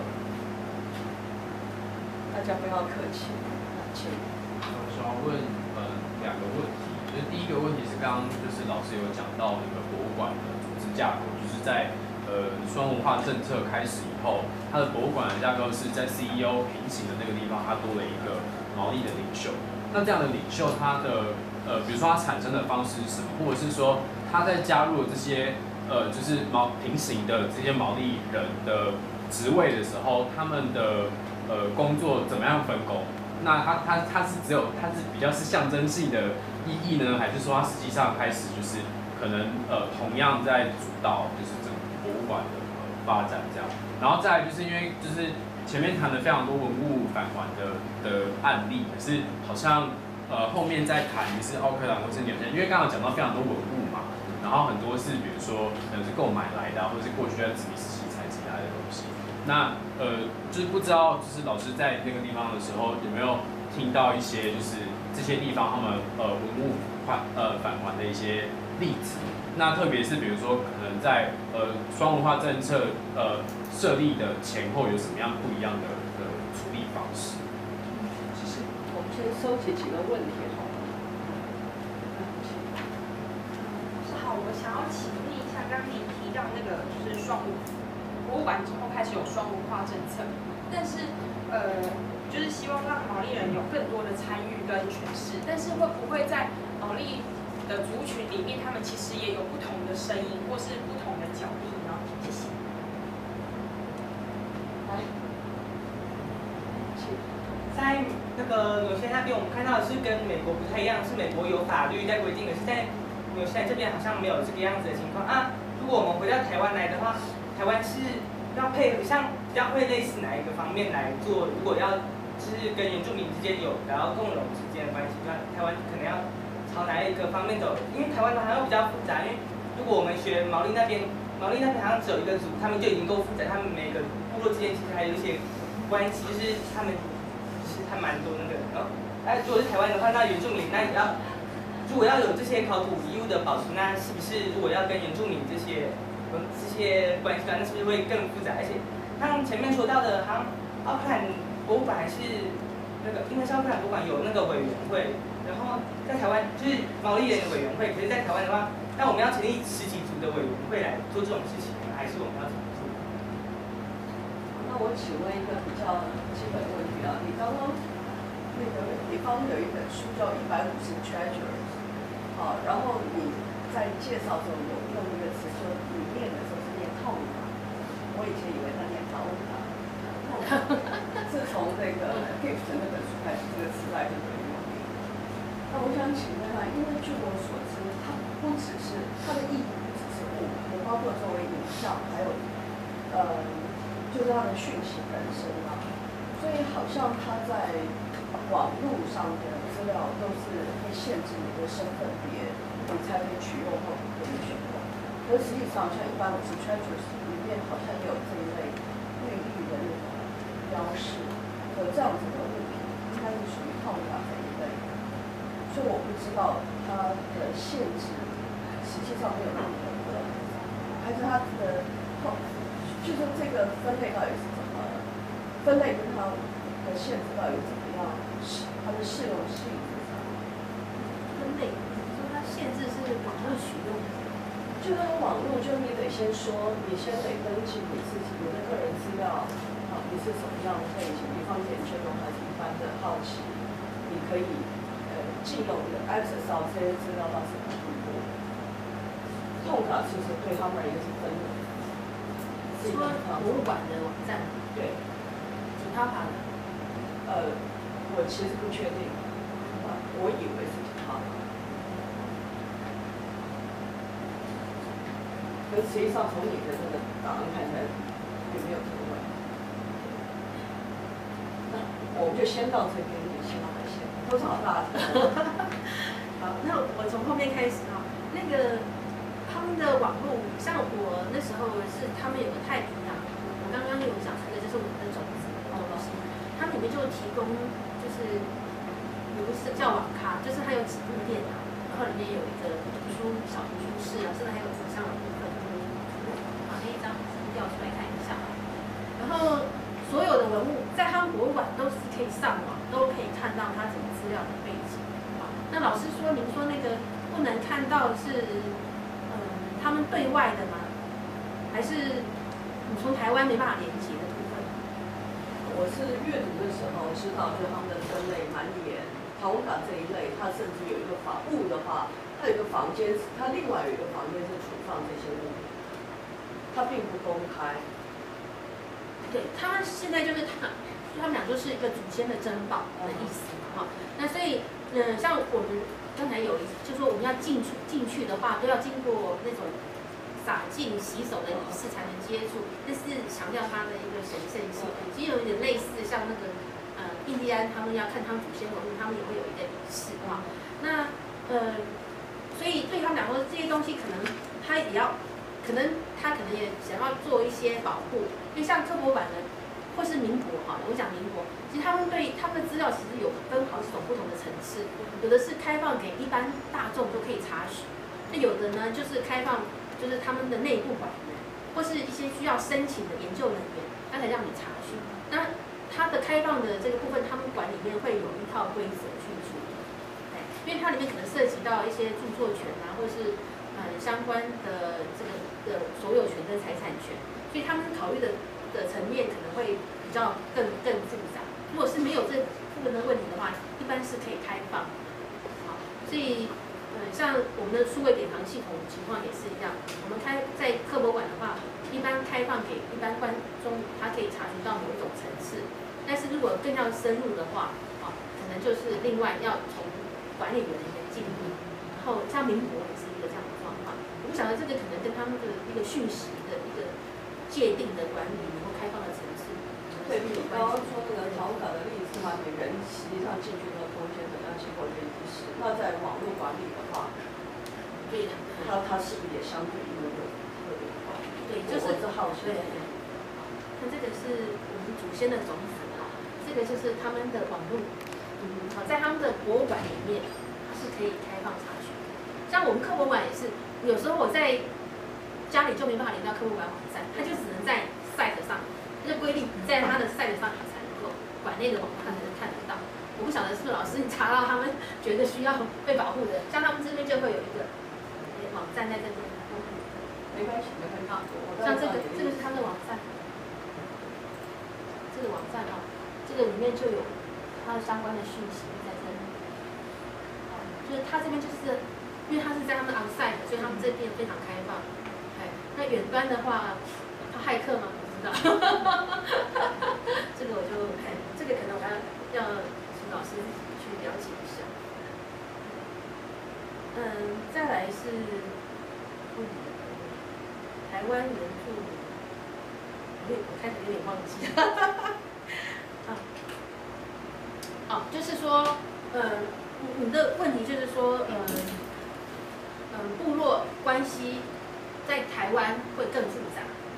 因为台湾如果要做些无论是返还或是其他选择的话，那台湾要朝哪一个方向去做？对，像其实我觉得在台湾这方面做的还蛮彻底的，因为像我去年刚好也是呃，就是有担任到这个呃地方原住民地方馆的一个评鉴委员哈，然后我呃在台湾呢有大概二十八个，至少说二十八，现在就现在阿里山那个好像也要快要开放哈。阿里山的那个，那每一个每一个部落哈，就他们现在都会有一个地方的文物馆，啊，所以嗯，在台湾我是觉得每个就是每个县市，好像在呃让文物回家的海瑞海端商海端海端商哈，他们也是非常的积极，跟像台湾博物馆做一些合作啊，因为他们知道那些文物其实脉。络都还蛮清楚的，所以他们也知道是属于他们部落的。像奇美部落过去也是一样，因为他们会跟一些比较大馆啊，在日日日本时代的时候就已经收集了一些文物，然后尽量用这种巡回的方式来做做一个回乡的一个一个一个展示啊。因为原住民的部落的文物馆现遇到一个非常大的问题，就是人员跟财力的不足。好，所以你要他们在一个恒温恒湿或是很好的保存条件下做呃长期的一个呃。保存其实他们是有困难的，所以一个大馆带小馆的方式，其实是一个很好的一个典范啊。所以他们也是在积极的寻求，就是跟不同的馆做做进行一些合作。像我的一个展览，现在也是在在他们做巡游啊。所以呃，我觉得在台湾这一部分，政府包括客家，客家也是每一个县市政府都有客客家跟原住民的。Euro 啊，就是他们的一个单位，啊，他们就是主导这方面，啊，所以这部分我觉得台湾做的也是算蛮适合的。那我在提帕瓦有一个提帕瓦是他们呃纽西兰唯一的一座国家博物馆，奥克兰博物馆是属于地方博物馆，它是有附近七个不同的这个 city 的一个政府的纳税人钱，啊，注挹注百分之七十五给他们作为一个经费，啊，那提帕帕呢？他强调是国家博物馆，它是全部都是免费，建三百六十五天都开放，但是他们必须自筹经费百分之五十。那他们馆员又跟我讲说，我们没有办法像斯密松尼一样，因为我们是一个小国家，啊，我们有独立的一些不同的主题的博物馆，我们要把所有的东西放在他们国家博物馆作为一个最好的博物馆，这是他们的一个一个部分的策略啊。所以每个每一个地方的情况，可能是要根据当。地的，好，包括的的一个环境跟条件，好来做一个去，呃，呃，做一个发展，是没办法用采借的，因为每个地方的状况是不同，但是可以互相的这个学习，然后去了解，我觉得这部分是是正宗的。这样子，招杰，你的 问题是，呃，双文化政策。参与，你你可以再说一次吗？就 就是老师有提到说，就是呃，他现在在推行双文化政策嘛。对。那现在感觉就是比较二分，可是我想要问的是，就是毛利族人之间是不是会会有他们意见会有分歧，或者不同居落里面会有角力的问题？那这样子在博物馆诠释的时候该怎么？就他们怎么这么做这样子？对，这这一定是有有不同的，只要有人的地方，应该都有不同的角力嘛。像我每次去他们部落里面，他们他们说，呃，政府已经给他们的原住民委员会有很多的资源了，他们要摆平的是他们自己部落的问题会更多，好，所以，嗯，我想说这个问题一定有人地方一是存在，但是毕竟是他们是一个自治独立的单位，他们内部的问题是从内部的方式去解决，会更容易，就是对他们的正朔前代表性，哈。能够，呃，就是更被受，就是不会受到其他的族群或其他的这个，呃，呃，给他的这个呃影响哈，呃，主导来来的更，就是说更容易去处理。像他们这个奥克兰博物馆，他们也会有一个，刚才我有讲到，他们有一个毛利的文化展演的部分。其实他们这个展演的族群，他们是用投标的方式来处理。就是你，你每一个部落，你都可以来投标，来呃争取到奥克兰博物馆里面去做这个文化展演的这样子的一个的的一个机会，好，但是你就要提你的计划书，然后大家来做一个评评鉴，然后来比较，然后选择是呃公开的方式来做这个公益，不会说好像是黑盒子就直接外包你这一家做。啊，就是在政府的这个采购法上面，他们也会有这样子的一个设计。嗯，第一个问题，对不起，第一个问题可以回答。呃，就第一个问题是说那个关于组织架构的问题，因为刚才有讲到说有呃，他有一个 CEO 平行会有一个毛利的领袖嘛，那我蛮好奇，就是说。当博物馆的整个组织架构开始多了这一块以后，它对于本来的运作模式有什么样的改变，或者是说它比较像是呃象征性的，就是说哦，我现在因为双文化政策，所以我必须要有一个毛利人在那个位置，对，就比较好奇说，那他后来实际上工作分配的状况是怎么样？我想说这个毛利领袖的部分哈，我想说他们会，他们有个 trust trust board，就他们会有呃一个委员会，他们会去甄选，就是呃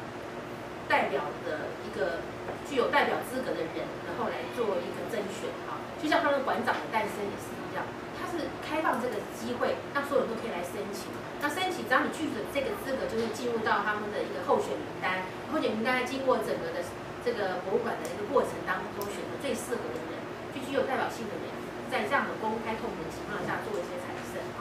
那产生之后呢，在他的这个法法源跟架构下面，他们是赋予相当多的对于毛利事务的展演啊、教育活动推广跟社区关系，甚至是嗯的一个相关的权利。好，那所以他们现很多的这些，因为他们是双语政策，所以他们必须是一个实质在实践跟运作的一个状况，可能也不是一个真正说好像摆在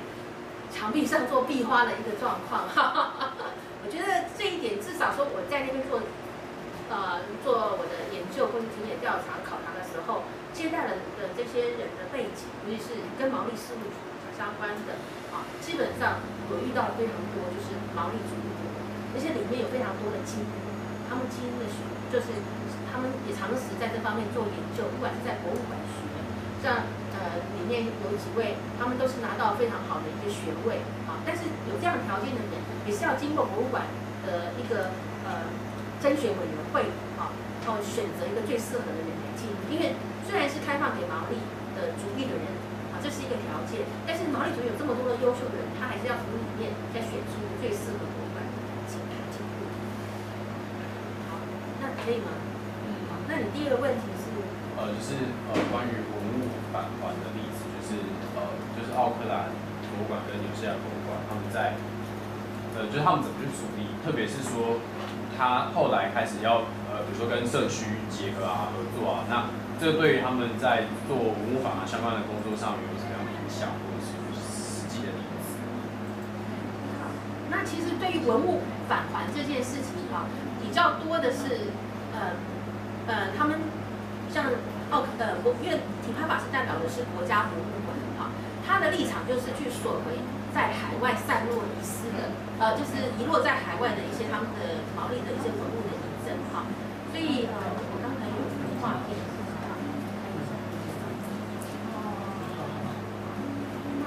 像这个，